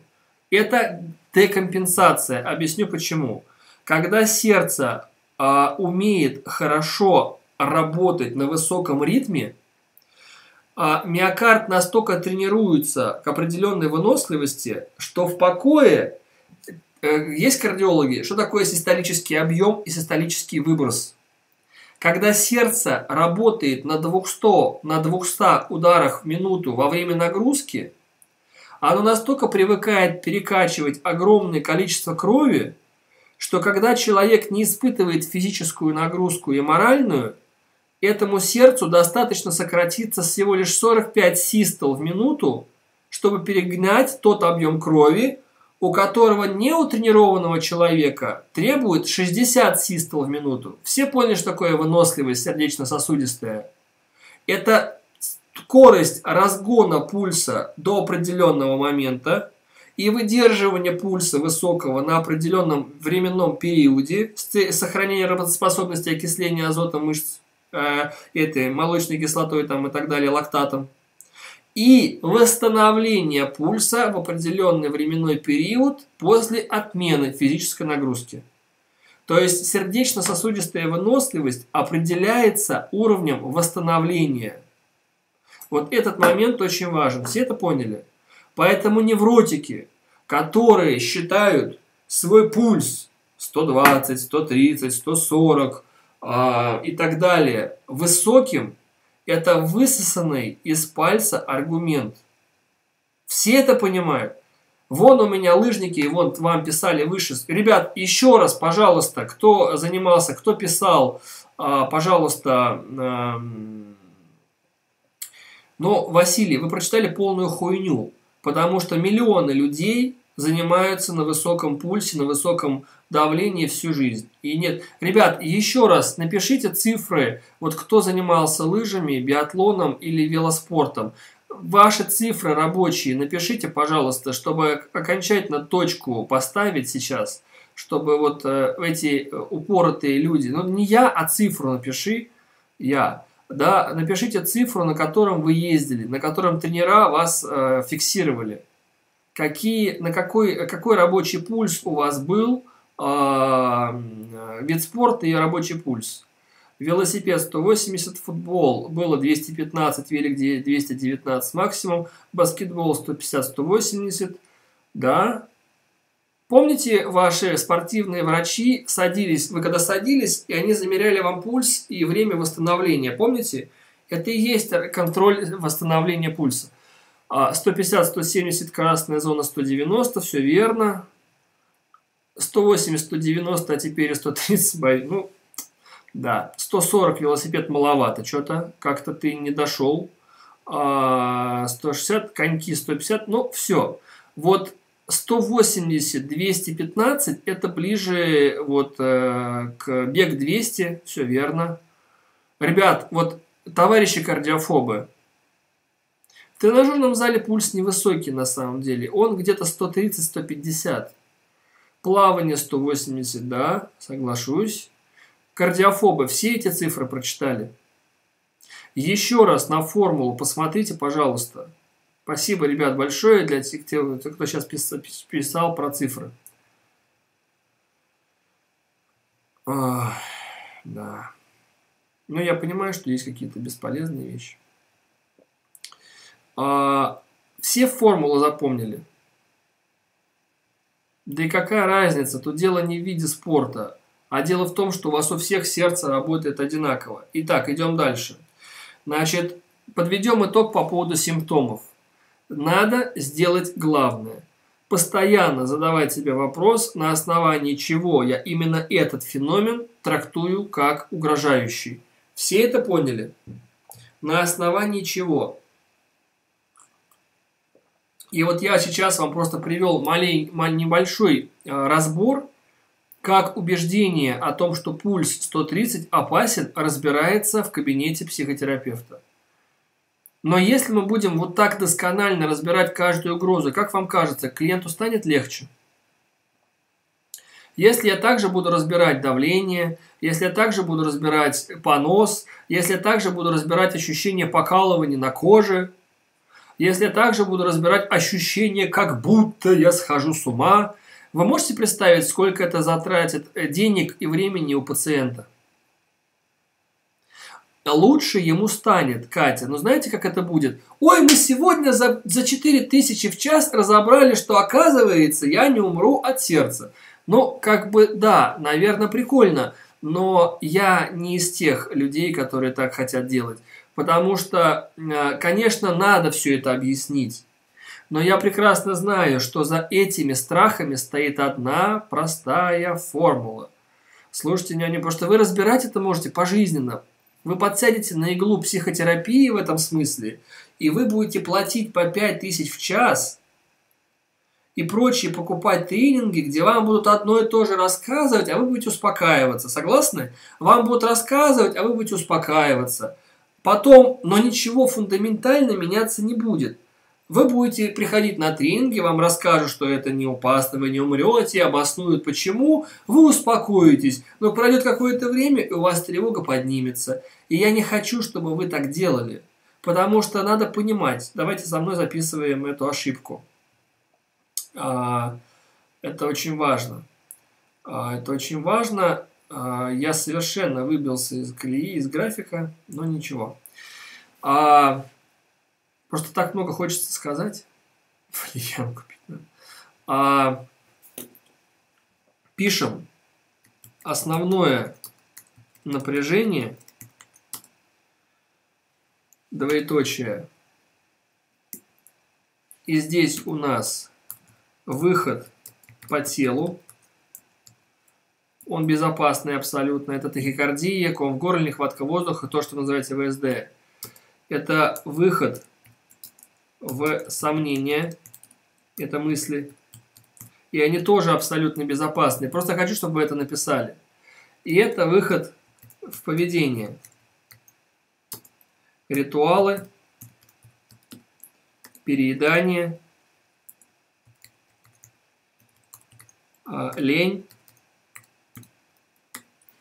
депрессия, а, переутомление, выгорание. И это уже последствия. Итак, смотрите. Теперь коротко о том, чем опасны э, симптомы или невротический выход. Слушайте меня внимательно. Чем опасны неврозы и так далее. Значит, когда у человека актуализируется невротическое расстройство, как вы сейчас поняли, он будет ощущать его выход по телу, он будет ощущать его выход в сомнениях за собственное здоровье, и он будет ощущать его выход в странном поведении. Все это поняли, да, ребята? Чем опасно? Пишем. Значит, а, первое. По поводу выхода по телу. Если есть хронические заболевания, они могут обостриться. Если их нет, не паримся. Второе, чем опасно, старческий возраст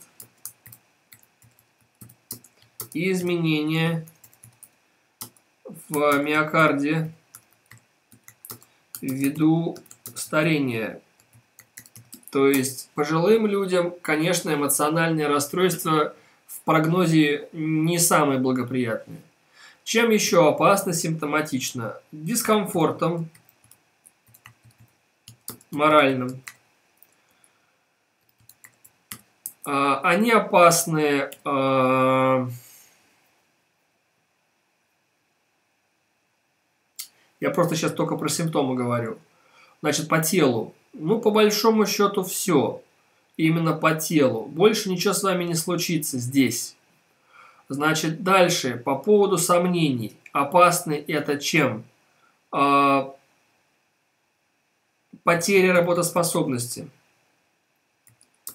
А, работоспособности. А, концентрация. Ну, это туда же, ладно, я напишу. Потеря концентрации. А, а, плохое настроение. Давайте я так напишу. А чем еще опасны неврозы? А, без, э, бездействием. То есть люди могут так замкнуться дома, э, что они могут бездействовать, потому что больны. То есть они могут настолько считать себя больными и не работать э, в правильном направлении, что они просто будут бездействовать.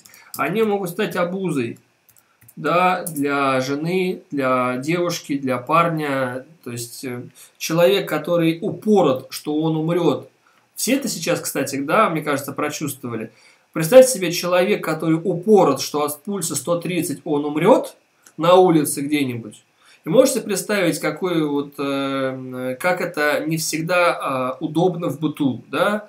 И э, это не помощник, это не, ну, как бы, поэтому неврозы, они не опасны для смерти, для сумасшествия. Они опасны только вот э, морально-этическим таким качественным жизненным вот, фундаментом. То есть от неврозов не умирают, от неврозов не сходят с ума, ничего не случается с этими людьми вообще, но качество жизни пациентов, посмотрите, насколько страдает. Причем ужас ситуации в том, что они пришли к этому качеству, в кавычках, жизни, только лишь исходя из истории, что они неправильно занимаются своим неврозом. Они порой им даже не занимаются. А если занимаются, то не совсем до конца или неправильно. Все это понимают. Поэтому те ребята, которые считают, что они умрут, сойдут с ума, вы пока не начнете заниматься в верном направлении, вы будете обречены на херовое качество жизни. А теперь смотрите, есть такой феномен, знаете, наверняка, дереализация, деперсонализация. В курсе, да? Вот если вы затянете вот это упоротое состояние бездействия, упоротое состояние нежелания что-то делать, упоротое состояние никуда не ходить, упоротое состояние верить, что вы сойдете с ума и мир не такой, вы получите дереализацию. То есть дереализация и деперсонализация – это последствия длительной социальной изоляции. Вот если у нас есть ребята с группы из контакта дереализация, деперсонализация, я надеюсь, что они есть, я им туда кидал ссылку, по-моему. Вот, ребята, если это действительная дереализация и деперсонализация, то это последствия вашего упоротого жизненной, вашей упоротой жизненной позиции. Понимаете? Нервный срыв по-разному. Это может быть просто истерика, слезы и так далее. Вот те, у кого дереализация, деперсонализация, вы себя упороли своим социальной, своей социальной изоляции до, таких, до такой степени, что у вас психика уже настолько вот заплесневела, в кавычках, да, метафорой, что она уже не воспринимает социальный мир вот так, как воспринимают обычные люди. Потому что все люди, которые страдают синдромом деперсонализации и дереализации, давайте это напишем, если кому надо, значит, все, у кого э, есть дереал, потом покажите им это видео, и деперс, это все социально изолированные люди. Я еще не встречал истинной в терапии за 7 лет дереализации и деперсонализации у людей, которые социально активны и социальны в, при, в принципе. Все это поняли? Согласны? Дереал тоже безопасен, но качество там вообще не отсутствует. Это люди просто... Вот в Японии есть такие люди, кто знает, как они называются? Дезаби, неважно. А кто знает, как в Японии называются люди, которые сами а, решают сидеть дома и никуда не выходить? Они социально изолируются сами. Там есть такая категория социальная. Одно слово там какое-то. Кто это? Кто знает, как они называются? Да, да, да, да, да, да, да, да, да, да, да, да, да. Хикамо, хикимо, вот эти вот долбоебы, да, верно. Вот вы превращаетесь вот в этих персонажей, блядь. Понимаете? Вы сами себя засовываете домой, не а, а, изолируете себя э, от социального общения ввиду ваших социальных проблем – и уже деперсонализация, дереализация и так далее является последствием этой изоляции. Все это поняли? Поэтому подведем итог по поводу симптоматики. Значит, вам надо всем четко понять, что вам нужно научиться, пишем вместе со мной и идем дальше. Значит, необходимо уметь не видеть угрозы и позора телесных и мыслительных проявлениях. Вот это все запишите, пожалуйста, прям красными буквами. На этом мы заканчиваем тему симптома, переходим к тему причины и поводы. Потому что все остальное сейчас будет высасываться из пальца. Да и уже, и уже два часа прошло, представляете, да?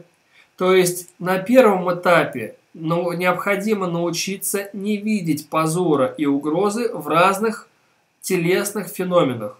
Что для этого надо? Выписываете телесный феномен, которого вам, как кажется, раньше не было, и начинаете пытаться на листочке выписать, а с чего вы решили, что это угроза. И вот весь этот маразм выписываете на лист. Всем это понятно? Ребята, плюсик ставим, переходим к причинам и поводам.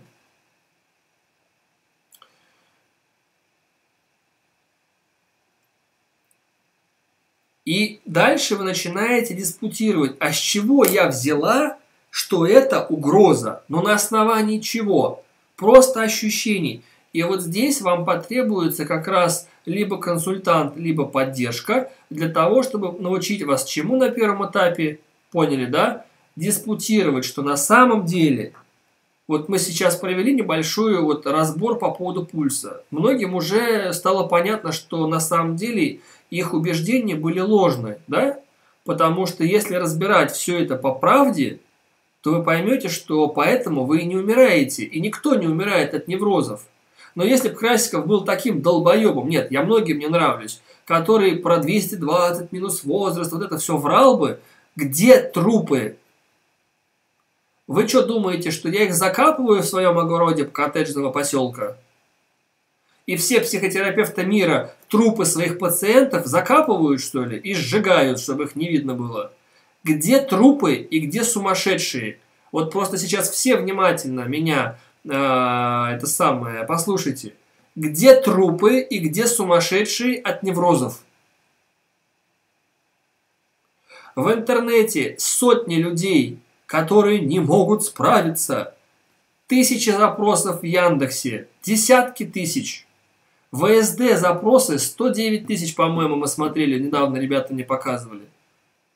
109, сука, тысяч в месяц людей ищут ВСД лечение. Где трупы? Где шизофреники из этого количества? ОКР тоже десятки тысяч. Можно ли сойти с ума? Сойти с ума от ВСД и невроза, чувство сумасшествия. Где эти сумасшедшие? Мы их не видим. И не видим ни трупы, ни смерти и так далее. А если вы придете в отделение неврозов и в отделение пограничных состояний, то вы увидите парочку человек, которые просто довели себя тревогой до такого состояния, что им сказали, слушай, приляжь уже, а, успокойся. Вот и все. Поймите вы это. Все это поняли? Ну, конечно же, не сидят. Поэтому никто не умирает. И нет там никакого психушки. Вы когда последний раз в психушке, Алексей, были? У меня тут одна клиентка пошла получать справку. И воле ее занесло в отделение пограничных состояний. Просто там пришлось что-то там то ли найти, то ли поставить. Она говорит, Леш, я первый раз увидела, что такое психиатрические пациенты. Она говорит, ты знаешь, я на всю жизнь поняла, что я не сойду с ума, и я вообще далека от этого. Кто на самом деле видел душевно больных людей? Вот у нас там 200 с лишним человек сейчас онлайн. Ты я вам даю 100%. Вы в 99% случаев никогда душевно больного человека не видели. А если видели, то не факт, что душевно больного. Вы в большинстве случаев их не видели, потому что когда вы видите душевно больных людей, это совершенно другие люди. Они абсолютно не имеют тех страхов и сомнений и симптомов, которые связаны с вашими неврозами. Согласны? Поэтому, если вы хотите, придите в отделение психиатрической больницы закрытого типа – и посмотрите, что такое психозы и душевные болезни. И вы очень быстро, вам станет страшно пиздец, как если честно, потому что любая э, вот такая патология вызывает очень сильный инстинкт самосохранения. Согласны? Кто сталкивался с душевно больными людьми? Согласитесь, сразу страшно становится. Вот я когда ходил, там у нас практика была, это реально первое время стрёмно. Потому что когда ты слышишь весь этот бред, когда ты понимаешь и смотришь людям в глаза и понимаешь, что это абсолютно не в Минько, очень страшно, даже специалистам. Но потом ты привыкаешь, конечно, да? Прям страх по ногам идет, когда ты видишь реально душевно больного человека. И страх у него совершенно другой. Меня держат здесь насильно, потому что инопланетяне связали мою жену, изнасиловали дочь, э, увезли ее в это, на Марс – на мне срочно надо выйти отсюда, чтобы я полетел за ней, меня уже ждут вот, буквально вот возле подъезда. Понимаете? А, а страха тоже много. Он другой совершенно. Все это поняли? Сначала страшно, потом нормально. Согласен. К этому адаптировать. Психика вообще очень адаптируется э, ко всему. Итак, все, закончили тему симптоматики. Повторяем. На первом этапе терапии вы выписываете все вегетативные... Слушайте меня внимательно вы выписываете все вегетативные феномены и начинаете с собой диспут о том, а с чего вообще и на каких основаниях я вообще это взяла, что это как-то мне опасно и угрожает. На основании чего, каких, то, каких фактов, каких домыслов и так далее. Это всем понятно? Прекрасно. Сейчас я сотру, и мы идем дальше. Теперь у нас второй блок нашего сегодняшнего семинара. Как я уже понял, мы задержимся. А, мы теперь переходим к причинам и поводам, но мы немножечко ускоримся сейчас. Значит, все, что мы сейчас... Ребят, нравится вообще? Вы довольны, что пришли бесплатно на такое мероприятие? Нормалек? Да хер с несостынии. Это последствия астении довольны. Ну хорошо. Дереал обратим, но только если ты действуешь в правильном направлении ручками и ножками, а не сидишь дома со словами «когда меня отпустят?». Нихуя тебя не отпустят дома. Отпустят вас только тогда, когда вы будете конкретные изменения в конкретную жизнь свою приносить. просто дома никого не отпустит. Я вам всем говорю ответственно. Не отпустит. Не отпустит, если вы будете бездействовать. Так, все, я понял. Хорошо, значит, идем а, по второму блоку. Значит, причины и поводы. Вот мы сейчас с вами, спасибо, а, а, не отпустит никого, если вы будете просто сидеть, смотреть YouTube. Если вы просто будете заниматься информированием, ребята, спасибо большое, мне нравится, я доволен, что вам нравится. Вот если, увы, вот знаете что, я сейчас выключу чат, и мы перейдем ко второй теме. Вот все сейчас внимательно меня послушайте. Прям, блядь, сука, как чумак установка. Вы, если думаете, что с неврозом можно отлежаться, вы делаете такую грубейшую ошибку, которая может перечеркнуть все ваше будущее. Страх – это якорь, который затормозит все, сука, ваше развитие. И если вы привыкли с гриппом взять больничную на две недели и отлежаться, и если вы считаете, что вы отлежитесь с неврозом, вы себя в такую жопу засунете, из которой Алексей Красиков вас вантусом будет доставать очень долго. И если вы хотите справиться с вашим неврозом, нельзя отлеживаться дома. Необходимо каждый день делать те стратегические, тактические шаги каждый, сука, день, а не лежать дома со словами «А мне стало лучше или нет? Ой, нет, что-то мне хуже. Ой, нет, не лучше. Пойду-ка я посмотрю YouTube. Может, что нового скажет. О, Красиков новый видос запилил. Да, нормально, нормально. Поматерел, заматерел, да. Интересный парень. А тут что показывает? О, о, о, о, еще один. Ну да, да, это все, конечно, хорошо, но мне, пидорасы, от этого не лучше. Говно все. Вы что думаете, вы от этого изменитесь очень сильно, что ли? Да вы не изменитесь никогда таким образом. Ни, неврозы так не терапевт, не исправляются. А вот когда вы, когда вы поймете, что надо делать. Вот первое, что надо делать, это взять, сука, листок и начать с собой, блядь, вести беседу. Почему я считаю эти телесные феномены опасными? И понять, что вы ошибаетесь. Второе, в этой же части. Смотрите э, про панические атаки, агорафобию. Каждый день вы выходите на улицу и понимаете, что вы должны, помните, усиливать, кому надо про панические атаки все еще, проживание. Давайте немножко про панические атаки.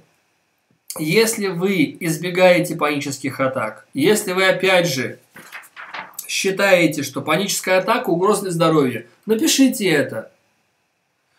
Почему паническая атака угроза для здоровья? И вы увидите, паническая атака угроза для здоровья, потому что я умру. Почему? Ну, потому что задача прожить панические атаки каждый день и понять, что как бы вам не было страшно и какая бы паника с вами не случилась, она вас не убьет. И только на фоне этого поведения вы с ними справитесь. Поставьте плюсик, кто справился с паническими атаками, только используя методику контакта с паникой, а не убегания от нее. Хуюдит. Аля, не будет. Посмотри статистику. Плюсики ставим. У кого нету панических атак, кто испытывал упражнения, проживание, наполнение себя страхом и так далее.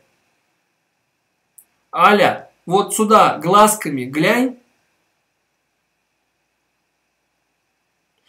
Очень важно понимать, что э, используя контакт постоянно, я хочу паническую атаку, да пускай она будет, да сколько угодно, да, будет неприятно, но она закончится. Пока вы бегаете от паники, только бы не было, только бы не было, только бы не было, вы сами создаете проблему.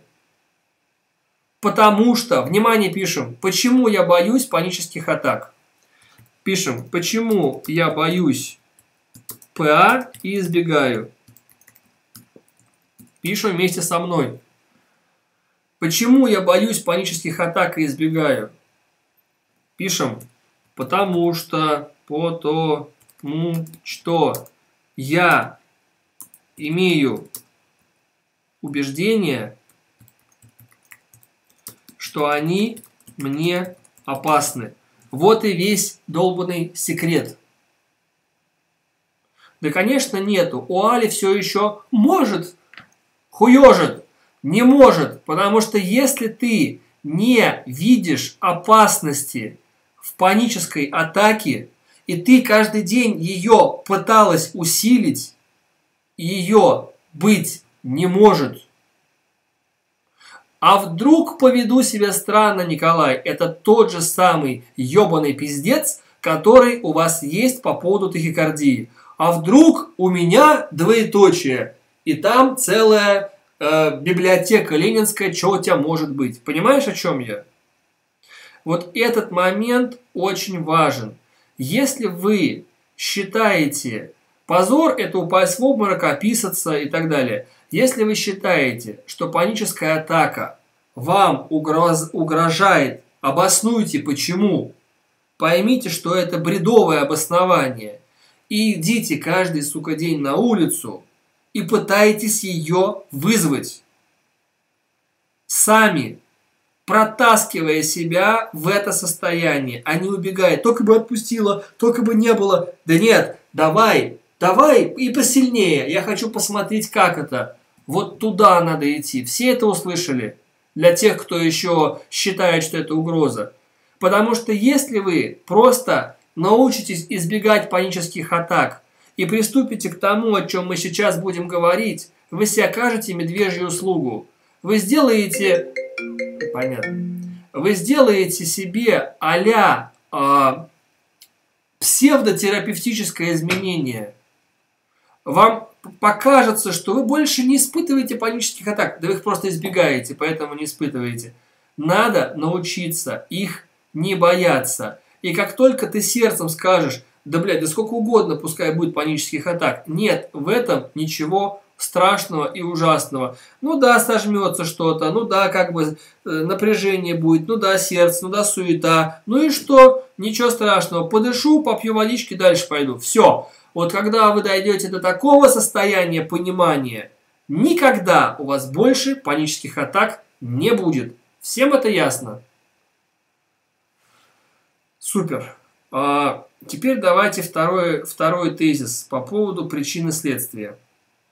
Мы говорили с вами в первом блоке нашего вебинара о том, а, что а, у людей возникает по поводу симптоматики, потому что вебинар посвящен ошибкам, и одна из главных ошибок на первом этапе – это действительно интерпретация, что симптоматика опасна, и я поэтому только два часа времени эмоционально заходил вам в голову, чтобы вы поняли, а, что нельзя а, интерпретировать симптомы как угрозу, иначе вы сформируете тревогу.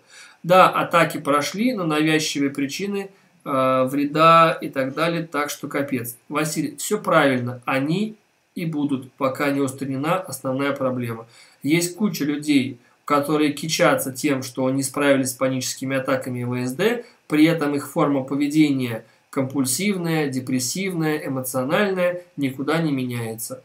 Эти люди даже умудряются говорить о том, что они высокие специалисты, и знают, потому что на себе прожили это. На себе они прожили просто одно. Я больше не боюсь панических атак, я их не испытываю, я спокойно передвигаюсь, но основные симптомы невротического серьезного расстройства на лицо как были, так и остаются. Вопрос, в чем прикол? Понимаете, да, о чем я? Непонятно, в чем прикол. Надо на самолет. Ну, потом в копии посмотришь. Пожалуйста. А, значит, теперь пишем. А, вторая часть. А, причины и поводы. Вот все, что я вам рассказывал в первой части. Спасибо.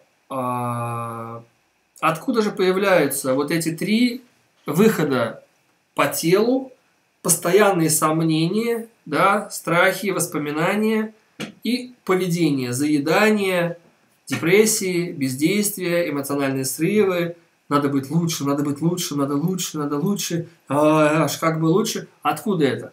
Это идет от основной невротической конструкции. Основная невротическая конструкция никак не связана с паническими атаками. Она никак не связана с ВСД. Она никак не связана с навязчивыми мыслями напрямую. То есть все эти симптомы, они как бы как яблоки на яблоне уже. Наверху там у нас висят на этих, э, на ветках. А основная а, невротическая конструкция – это каркас вот этого дерева. Это его ствол, такой основательный ствол, а уже ветки – это проявление. Все поняли метафору? У меня, кстати, была одна пациентка, которая рисовала свои неврозы в области метафоры дерева. Там как раз вот это было очень хорошо нарисовано, что вот ствол – это основная проблема самооценки, корни – это ее родители, которые питают всю эту проблему там же и так далее, а вот ветки – паническая атака, ВСД, ком в горле, нанотахикардия – это все яблоки, которые висят на этом дереве. Хуячить палкой по яблокам бесполезно. Новые вырастут, все понимают это. И поэтому рассказывать людям в интернете, как пиздато сбивать яблоки, блядь, вот с таким вот подмахом и вот с таким подкручиванием, это бесполезно. Рассказывать людям в Ютьюбе надо о том, как сбив яблоки, вот дальше, руководствуясь своим личным а, практическим опытом, показать людям, куда применить и что, а не рассказывать, как эти яблоки сбивать. И как они разлетаются. Я вчера сбила яблоко, оно так разлетелось, так разлетелось. Неважно, что у меня полный пиздец со стволом и с корнями, но яблоки я сбиваю пиздато. Это что за история такая? В чем, что это такое? Понимаете, о чем я? Вот э, не надо сбивать яблоки в YouTube. Надо понимать, что такое корни и как выглядит ствол. Потому что со стволом у этих сбивателей яблок, блядь, явные проблемы. И мы все это наблюдаем, какая там проблема со стволом. Там проблема со стволом такая, что она уже торчит. Отросточек этот. В виде ствола. Стволик. Понимаете? И вот этот стволик, он уже так, это, не возникает большие вопросы к этому. Поэтому э, обрубок, значит, да, э, что является причиной и поводом? Пишем вместе со мной. Причины и поводы. Значит, в мировой психотерапии есть такое понятие, как причины и поводы а, к невротическим расстройствам. Пишем. Поехали. Поводы. Поводы – это обстоятельства накануне выхода в симптомы. Ну, как правило, первые симптомы, они всегда выходят по телу, помните, да? Но алгоритм такой. Вышло по телу, испугалась, вышла в сомнение, вышла в ритуалы. Поняли, да? То есть это простой рефлекс. Сначала невроз пошел по телу, вы испугались, как он пошел по телу, потом он пошел в сомнение за здоровье, и из сомнения и здоровья вы стали делать ритуал. Согласны? Но самый банальный пример, а, пример это невроз актуализировался, он вышел в тахикардию, это по телу, вы испугались от незнания, потом он вышел в сомнение, а вдруг у меня инфаркт, а вдруг у меня сердце, а вдруг у меня сердце, а вдруг у меня инсульт. И потом вы вышли в ритуал мерение давления, изучение сердца, контроль за сердце и так далее. Все очень несложно. Это не требует интеллекта 140. Это достаточно просто, чтобы вот эту систему понять. Все это поняли? Невроз актуализировался. Итак, поводы пишем. Это обстоятельства накануне вода. Что я пишу, блядь? Накануне выхода, у меня исправляет компьютер сам.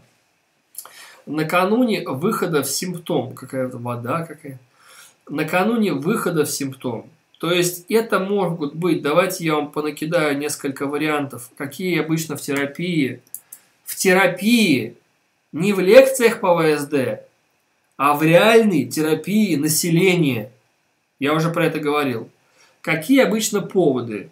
Поводом последним может быть алкоголь, похмелье, а, ссора, а, обида,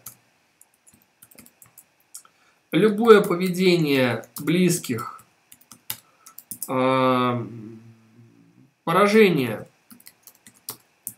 Или наоборот фильмы ужасов. Или наоборот радость. Или а, жара.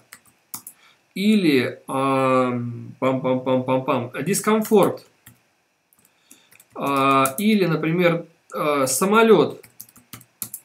Все это поняли, что на самом деле то, что я сейчас перечислил, многие посчитали причиной. Ты говоришь, муж мой, ты гандон, потому что у меня из-за тебя, сука, невроз. Кто так говорил своим мужьям? Это неправильно.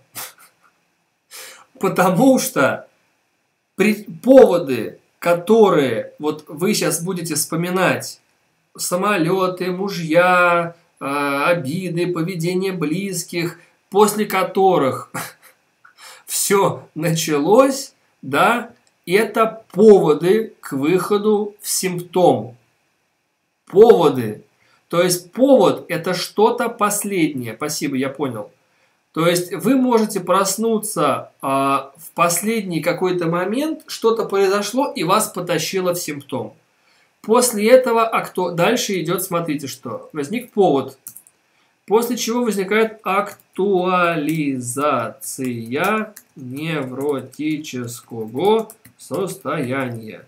И она у нас опять же актуализируется по телу, в скобочках ВСД, она у нас актуализируется по сомнениям. Это всякие мысли и сомнения. Да?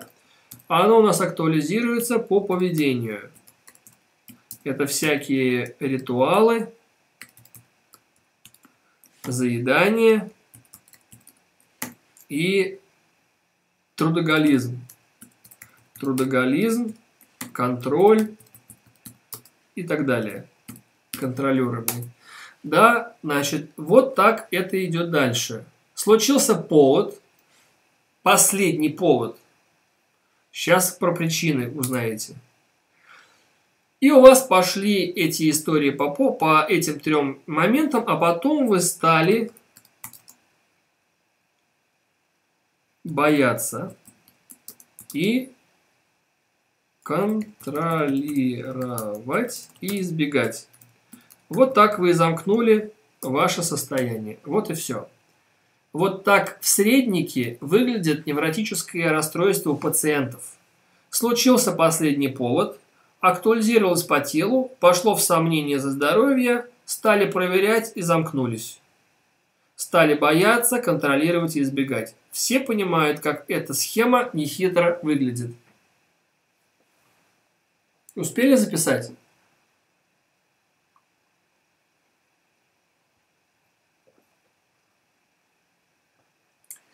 То, что ты гей, это повод. А вот причина, сейчас мы поговорим об этом. Да подожди ты. Все поняли эту схему. Теперь смотрите. Идем дальше. Работа – это повод. Ну, у тебя же работа написана в списке. Там же все написано. Так, э, здесь, видимо, сложнее, да, вам заходит? Тогда надо объяснить, что такое причина. Окей? Пишем. Ребятки, вы устали, да, наверное? Я, я-то могу до утра, а вы, наверное, устали уже. Значит, теперь, внимание, вопрос. У каждого ли человека вот эти поводы, после которых началась актуализация невроза, станут вообще поводами? Вот просто сейчас подумайте. У каждого человека ли какие-то ссоры, алкогольное опьянение, похмелье, ржач, фильм ужасов, жара, самолет станет поводом, выходом в невроз. Да далеко не у каждого. Поэтому понимайте меня правильно. У каждого свои причины и поводы. И для кого-то повод – это повод, а для кого-то повод – это поржать. Поняли все? Все, спасибо. Значит, пишем вместе со мной по поводу причин и поводов. Все зависит вообще не от ситуации. Пишем, да все, спасибо, ребята, ну харе. Все, все. Пишем. Повод становится триггером к выходу только когда есть причина основного напряжения. То есть повод – это последняя капля, а причина – это то, что копит основное напряжение. Тут потребуется немножко интеллекта, поэтому я поясню.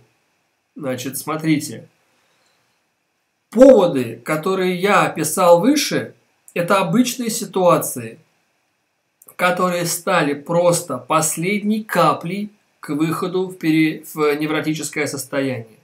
А причина невроза – это то, что именно копится в формате основного напряжения, где потом последняя капля в виде повода капнула и вас потащила.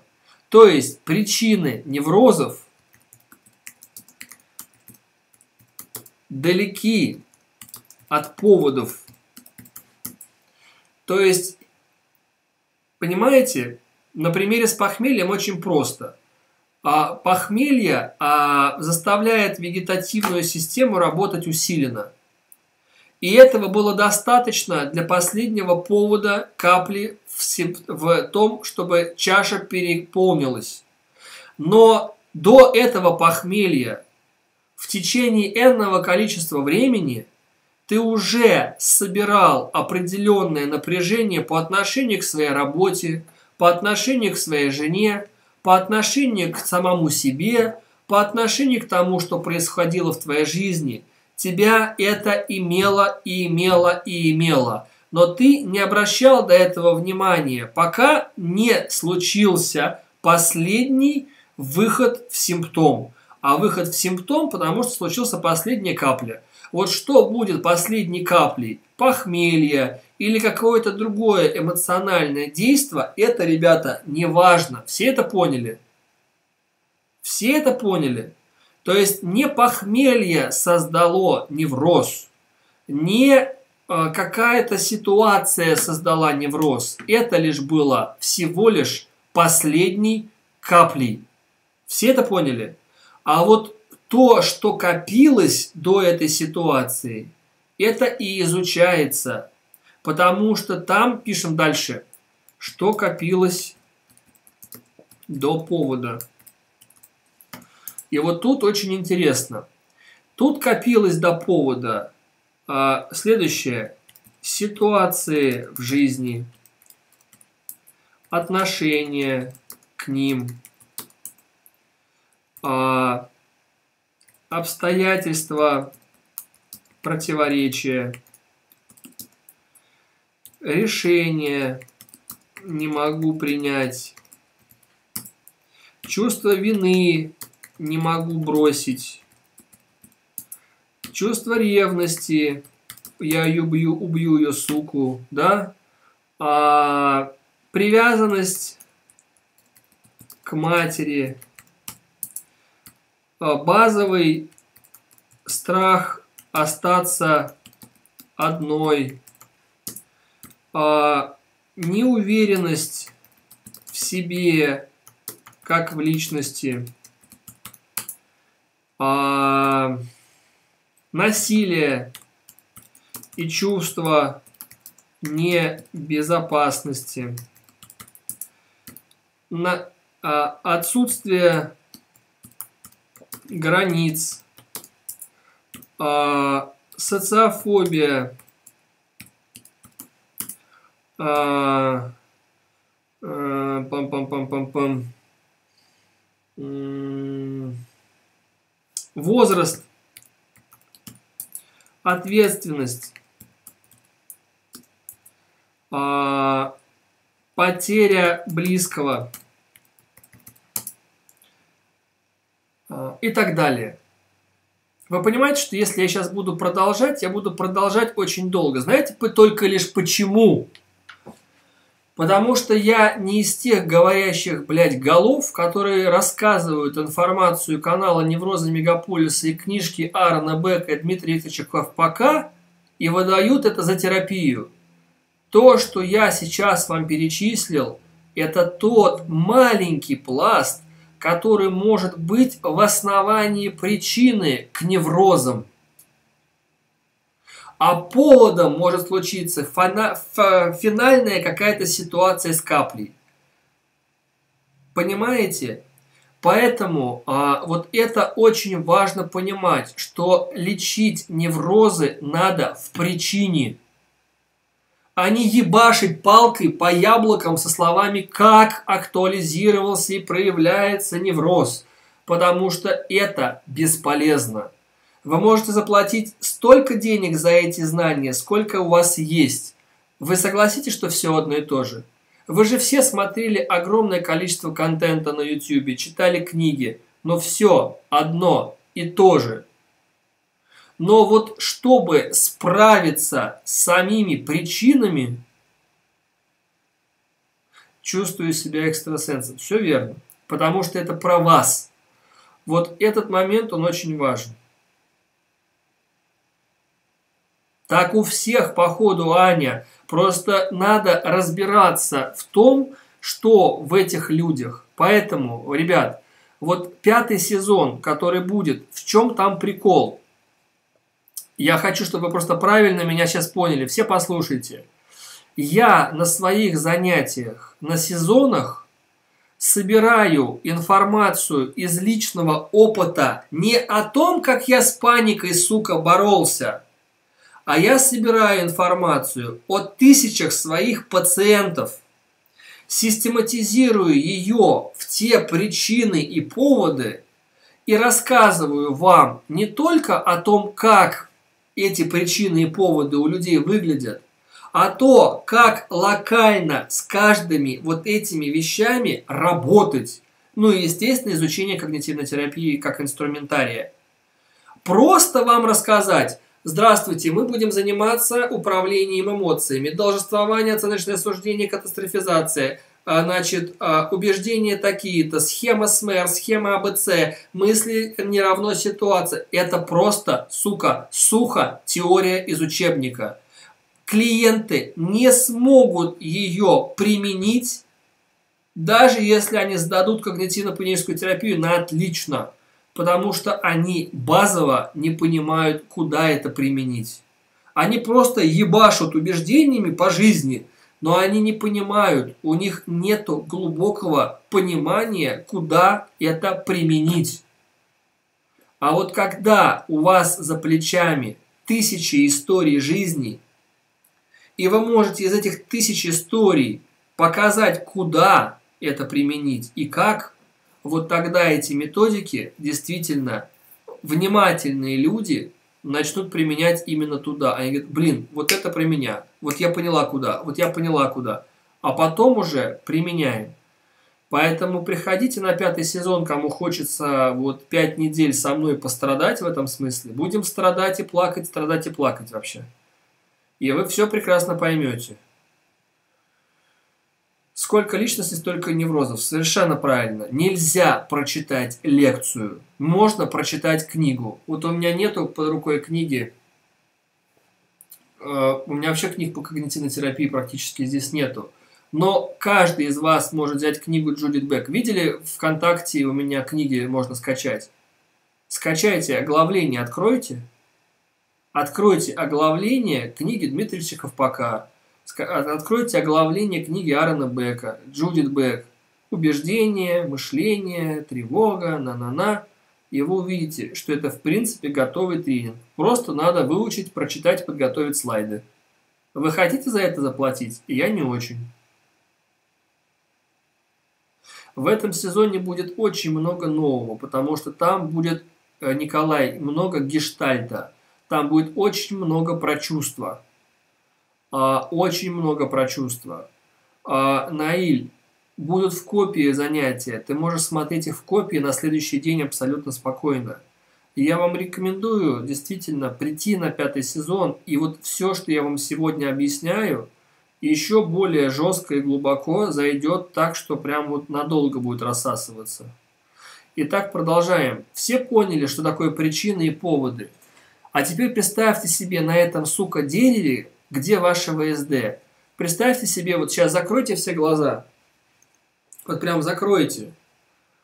Спасибо, Галь. Ну, я надеюсь, они придут и не будут морочить мне и друг другу голову про тахикардию больше. Вот представьте себе дерево. Представьте себе дерево. Представили? Подождите, не пишите в чате, чтобы никого не отвлекать. Вот просто закройте глаза.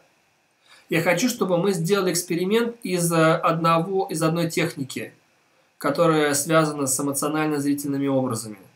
Не бойтесь, закройте глаза.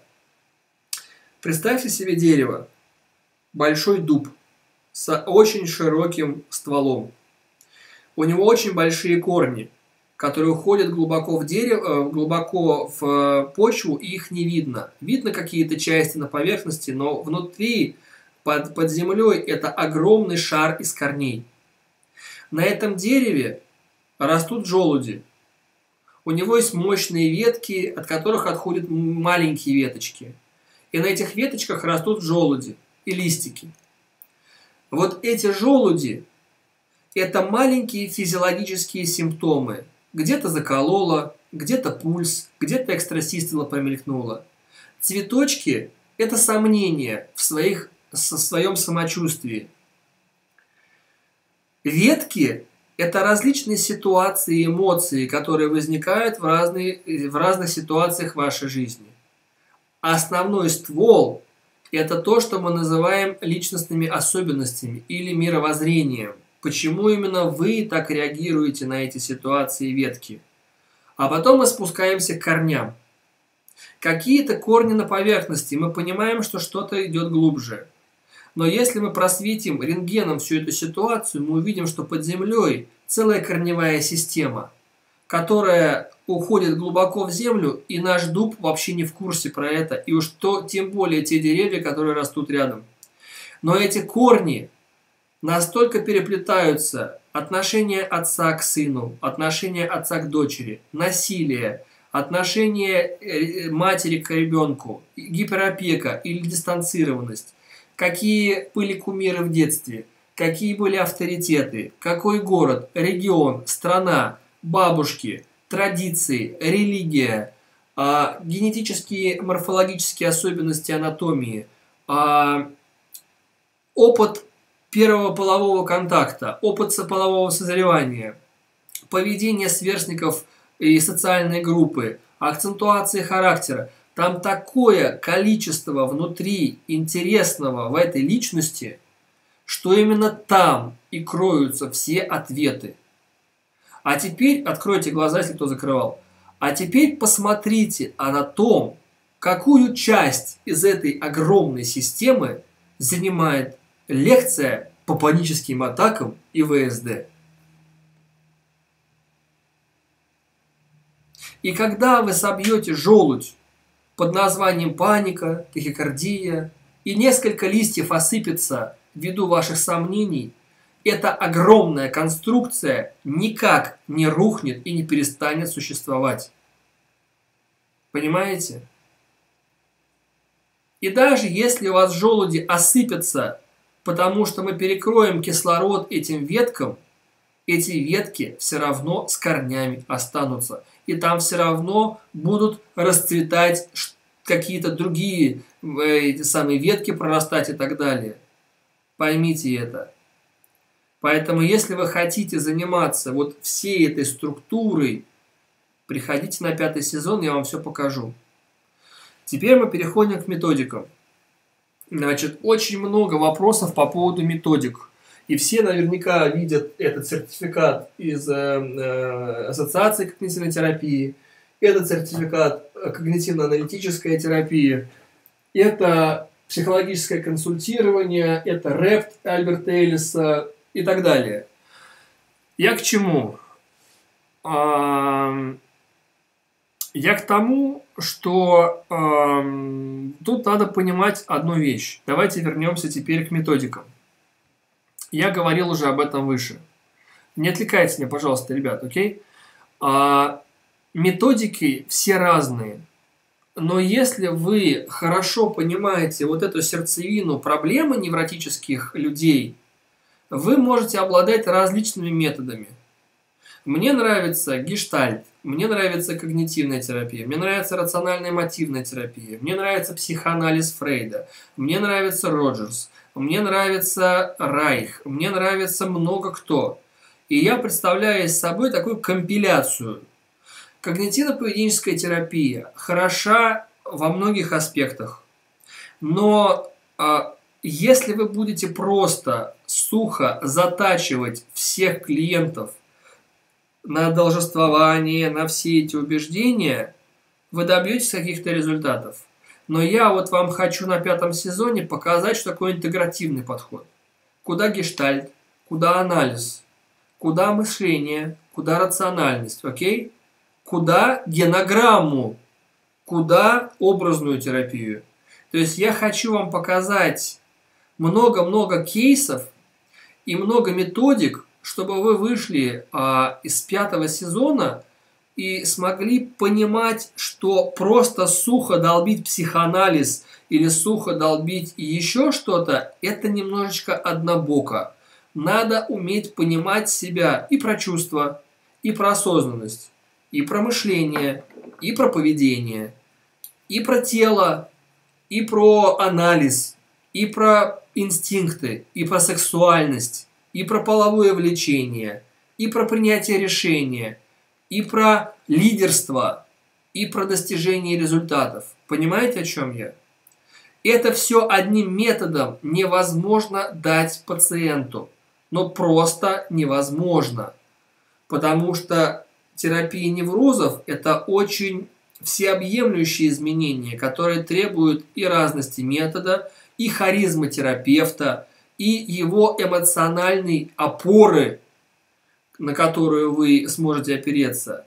Терапевт вот без ресурса, без лидерских качеств, без умения управления, с определенными проблемами, какими-то страхами, сомнениями, он физически не способен передать своим клиентам это.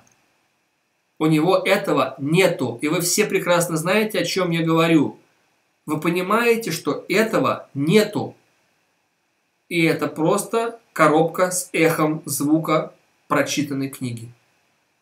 Поэтому выбирайте э, книги, которые вы будете читать, выбирайте лучше учебники по различным методам. Читайте Фрица Перлса, читайте Александрова, читайте э, Ковпака, там, я не знаю, читайте классиков, основателей метода, читайте Вильгейма Райха, читайте Вирджинию Сатир, читайте Джудит Бек, читайте ту же самую Сабину Шпильрейн, читайте того же банального Карнеги, читайте наших российских специалистов, Кар Ковпак, Курпатов, этот самый, как его, дедушка-то этот, пожилой дедушка, как его зовут, Литвак, да, а, в годах мужчина. А, много хороших книг написано – но они все необходимы для не какофонии, а для синергии. Понимаете, да, Литвак, да? Для синергии понимания, куда что управлять. Понимаете? Ведь когда пилот управляет воздушным судном, он же, тук, сука, не жмет только на рычаг двигателями и штурвал. Там огромное количество авионики, в которой применяются разные, э, разные истории контроля и разные истории системы подсчета и показателей. Вот так же в психотерапии людей и неврозов. Человек – это инструмент, э, где надо уметь настраивать его разные, разные какие-то вот аспекты. Поэтому, когда мне говорят, Леш, какой метод выбрать, что прочитать, в идеале я бы, вот, вот если бы у меня была такая возможность, я бы пошел на личную терапию, гештальтерапевту. Потом я бы пошел на личную терапию психоанализа, потом я бы пошел на когнитивку, потом я бы читал книги разных основателей методов. То есть я бы попробовал огромное количество личной терапии в разных методах. Потом я бы прочитал много литературы по этим методам, если бы я был клиентом. И я бы из этого всего бы, как я сделал в Московском институте психоанализа, тут их 18, кстати, хотите прочитаю. Психиатрия, концепция методики психологической помощи, гештальт-психология, а, когнитивно-бихевиоральная психотерапия, экзистенциально-гуманистический подход, групповая психотерапия, семейная системная психотерапия, а, гештальт, психодрама, телесно-ориентированная, арт-терапия. Помните вот эти рисунки, которые я вам показывал? Вот э, вы что думаете, это очень просто для интерпретации и вообще как бы это откуда все? А, Э, теория сексуальных расстройств, психоанализ, символ-драма, методы тестирования диагностики, дети и подростки. В общем, старайтесь изучать много методов, и у вас получится в голове, если вы хорошо анализируете, вот объем инструментария, которым вы можете шурупить именно э, для понимания, что такое неврозы. На всю жизнь не хватит. Но ты знаешь, мне вот здесь хватило полтора года, и еще хватило 2-3 года для точки каких-то аспектов, я с тобой не согласен. Ты это обобщаешь. Вполне хватит 7-10 лет для того, чтобы понять и изучить многие вещи. Вполне. А это про изучение, я имею в виду где-то 7-10 лет, и вы неплохо понимаете различные методы, и вы неплохо понимаете э, методику, но все эти 7, там, 10, 15 лет вы ведете очно много пациентов. У меня вчера было 10 человек очно. И так каждый раз. И еще скайпы. А то, что я веду семинары, вот вебинары, это уже последствия. Все поняли, как я это делаю? Я сначала нарабатываю в личной консультировании скайп и очка – а потом я всю эту информацию и знания выдаю в массово в виде вебинаров. Люди, которые не работают вот в таком большом объеме, не имеют такого большого ресурса, который можно потом дать публично. Это просто пересказ информации. Хотя я к ним отношусь как к людям очень хорошо, но не ко всем, конечно, тем, кто достойны, чтобы к ним относились хорошо. Вот. Надеюсь, никто там не обидится сильно. Вот, поэтому это по поводу методов. И в пятом сезоне, я уже говорил, будет много гештальта и много э, семейной системной терапии.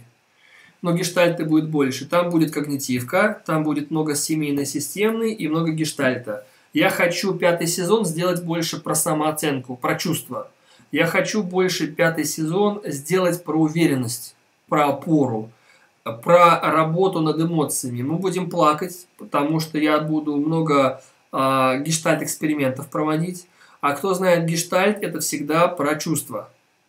Это всегда эксперименты с горящим стулом, но у нас будет не стул, у нас будет э, такой э, очень интересный эксперимент, который можно дистанции сделать, где мы порыдаем про обиду на папу, которого, от которого мы все ждали тепла, мы все ждали тепла от того самого папы.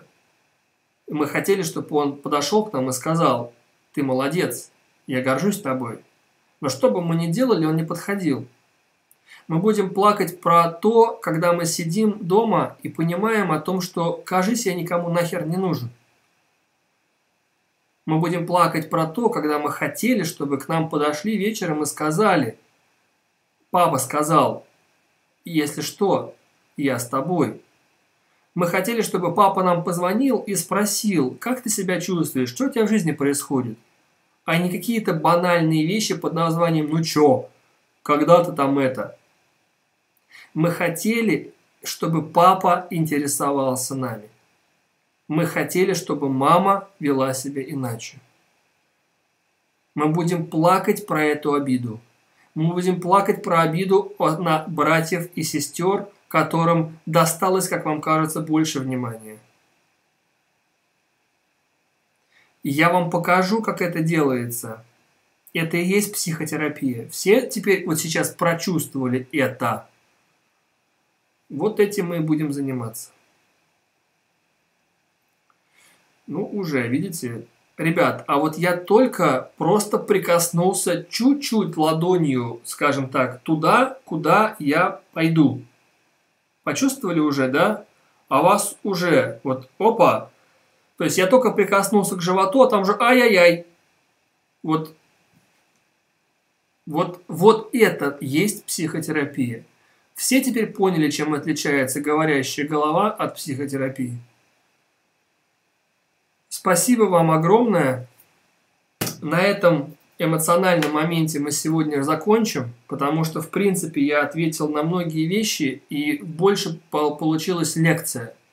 Да, а, такая, немного даже с углублением.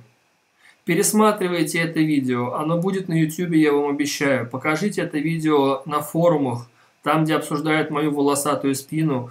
А, покажите это людям, а, кто страдает вегетатикой, неврозами, паниками и так далее. Я понимаю, что у вас у каждого наверняка есть не, некоторые вопросы по поводу каких-то симптомов или по поводу фармакологии. А, тут желательно понимать, что фармакология не есть плохо. Надо просто понимать, что в каких-то случаях неврозов мы можем себе помочь на первом этапе, но э, в каких-то случаях мы можем обойтись и без этой поддержки. Вот, значит, Булат спрашивает, страх заразиться и заболеть неизлечимым заболеванием, это всегда про чувство стыда, Булат. А, это всегда ОКР про нормативность. Тут надо допускать, что я могу заболеть чем угодно, это не значит т и на поведенческом уровне не мыть, не мыть, не подкреплять, делать наоборот в противоречие. Посмотри вебинар ОКР, пожалуйста. А, ребята, спасибо вам всем огромное. А, страх навредить себе. Посмотри а, на YouTube «Страх сойти с ума». Там про это очень популярно сказано. Это все про нормативность, Артем. Посмотри на YouTube, там есть недавно вышел ролик «Страх сойти с ума – это опасно». Будет рассматриваться на пятом сезоне все, да, конечно. Я надеюсь, вам понравилось. Спасибо вам большое. А, вы потеряли три часа времени в субботу. Я действительно был эмоционален, как обычно. Получили небольшой энергетический заряд от моей эмоциональности? Поставьте вот плюсик. Вот не сейчас закрыли глаза на мат. Просто вот поняли, как это передается на дистанции. Про папу. Вот вы были далеко, я даже вас не видел вот про папу, про слезы, про эмоции. Вы где-то посмеялись, видели, как было выстроено? Поняли, в чем прикол? Вы где-то посмеялись, а где-то что? Вы где-то посмеялись, а где-то задумались. Вы где-то посмеялись, а где-то заплакали.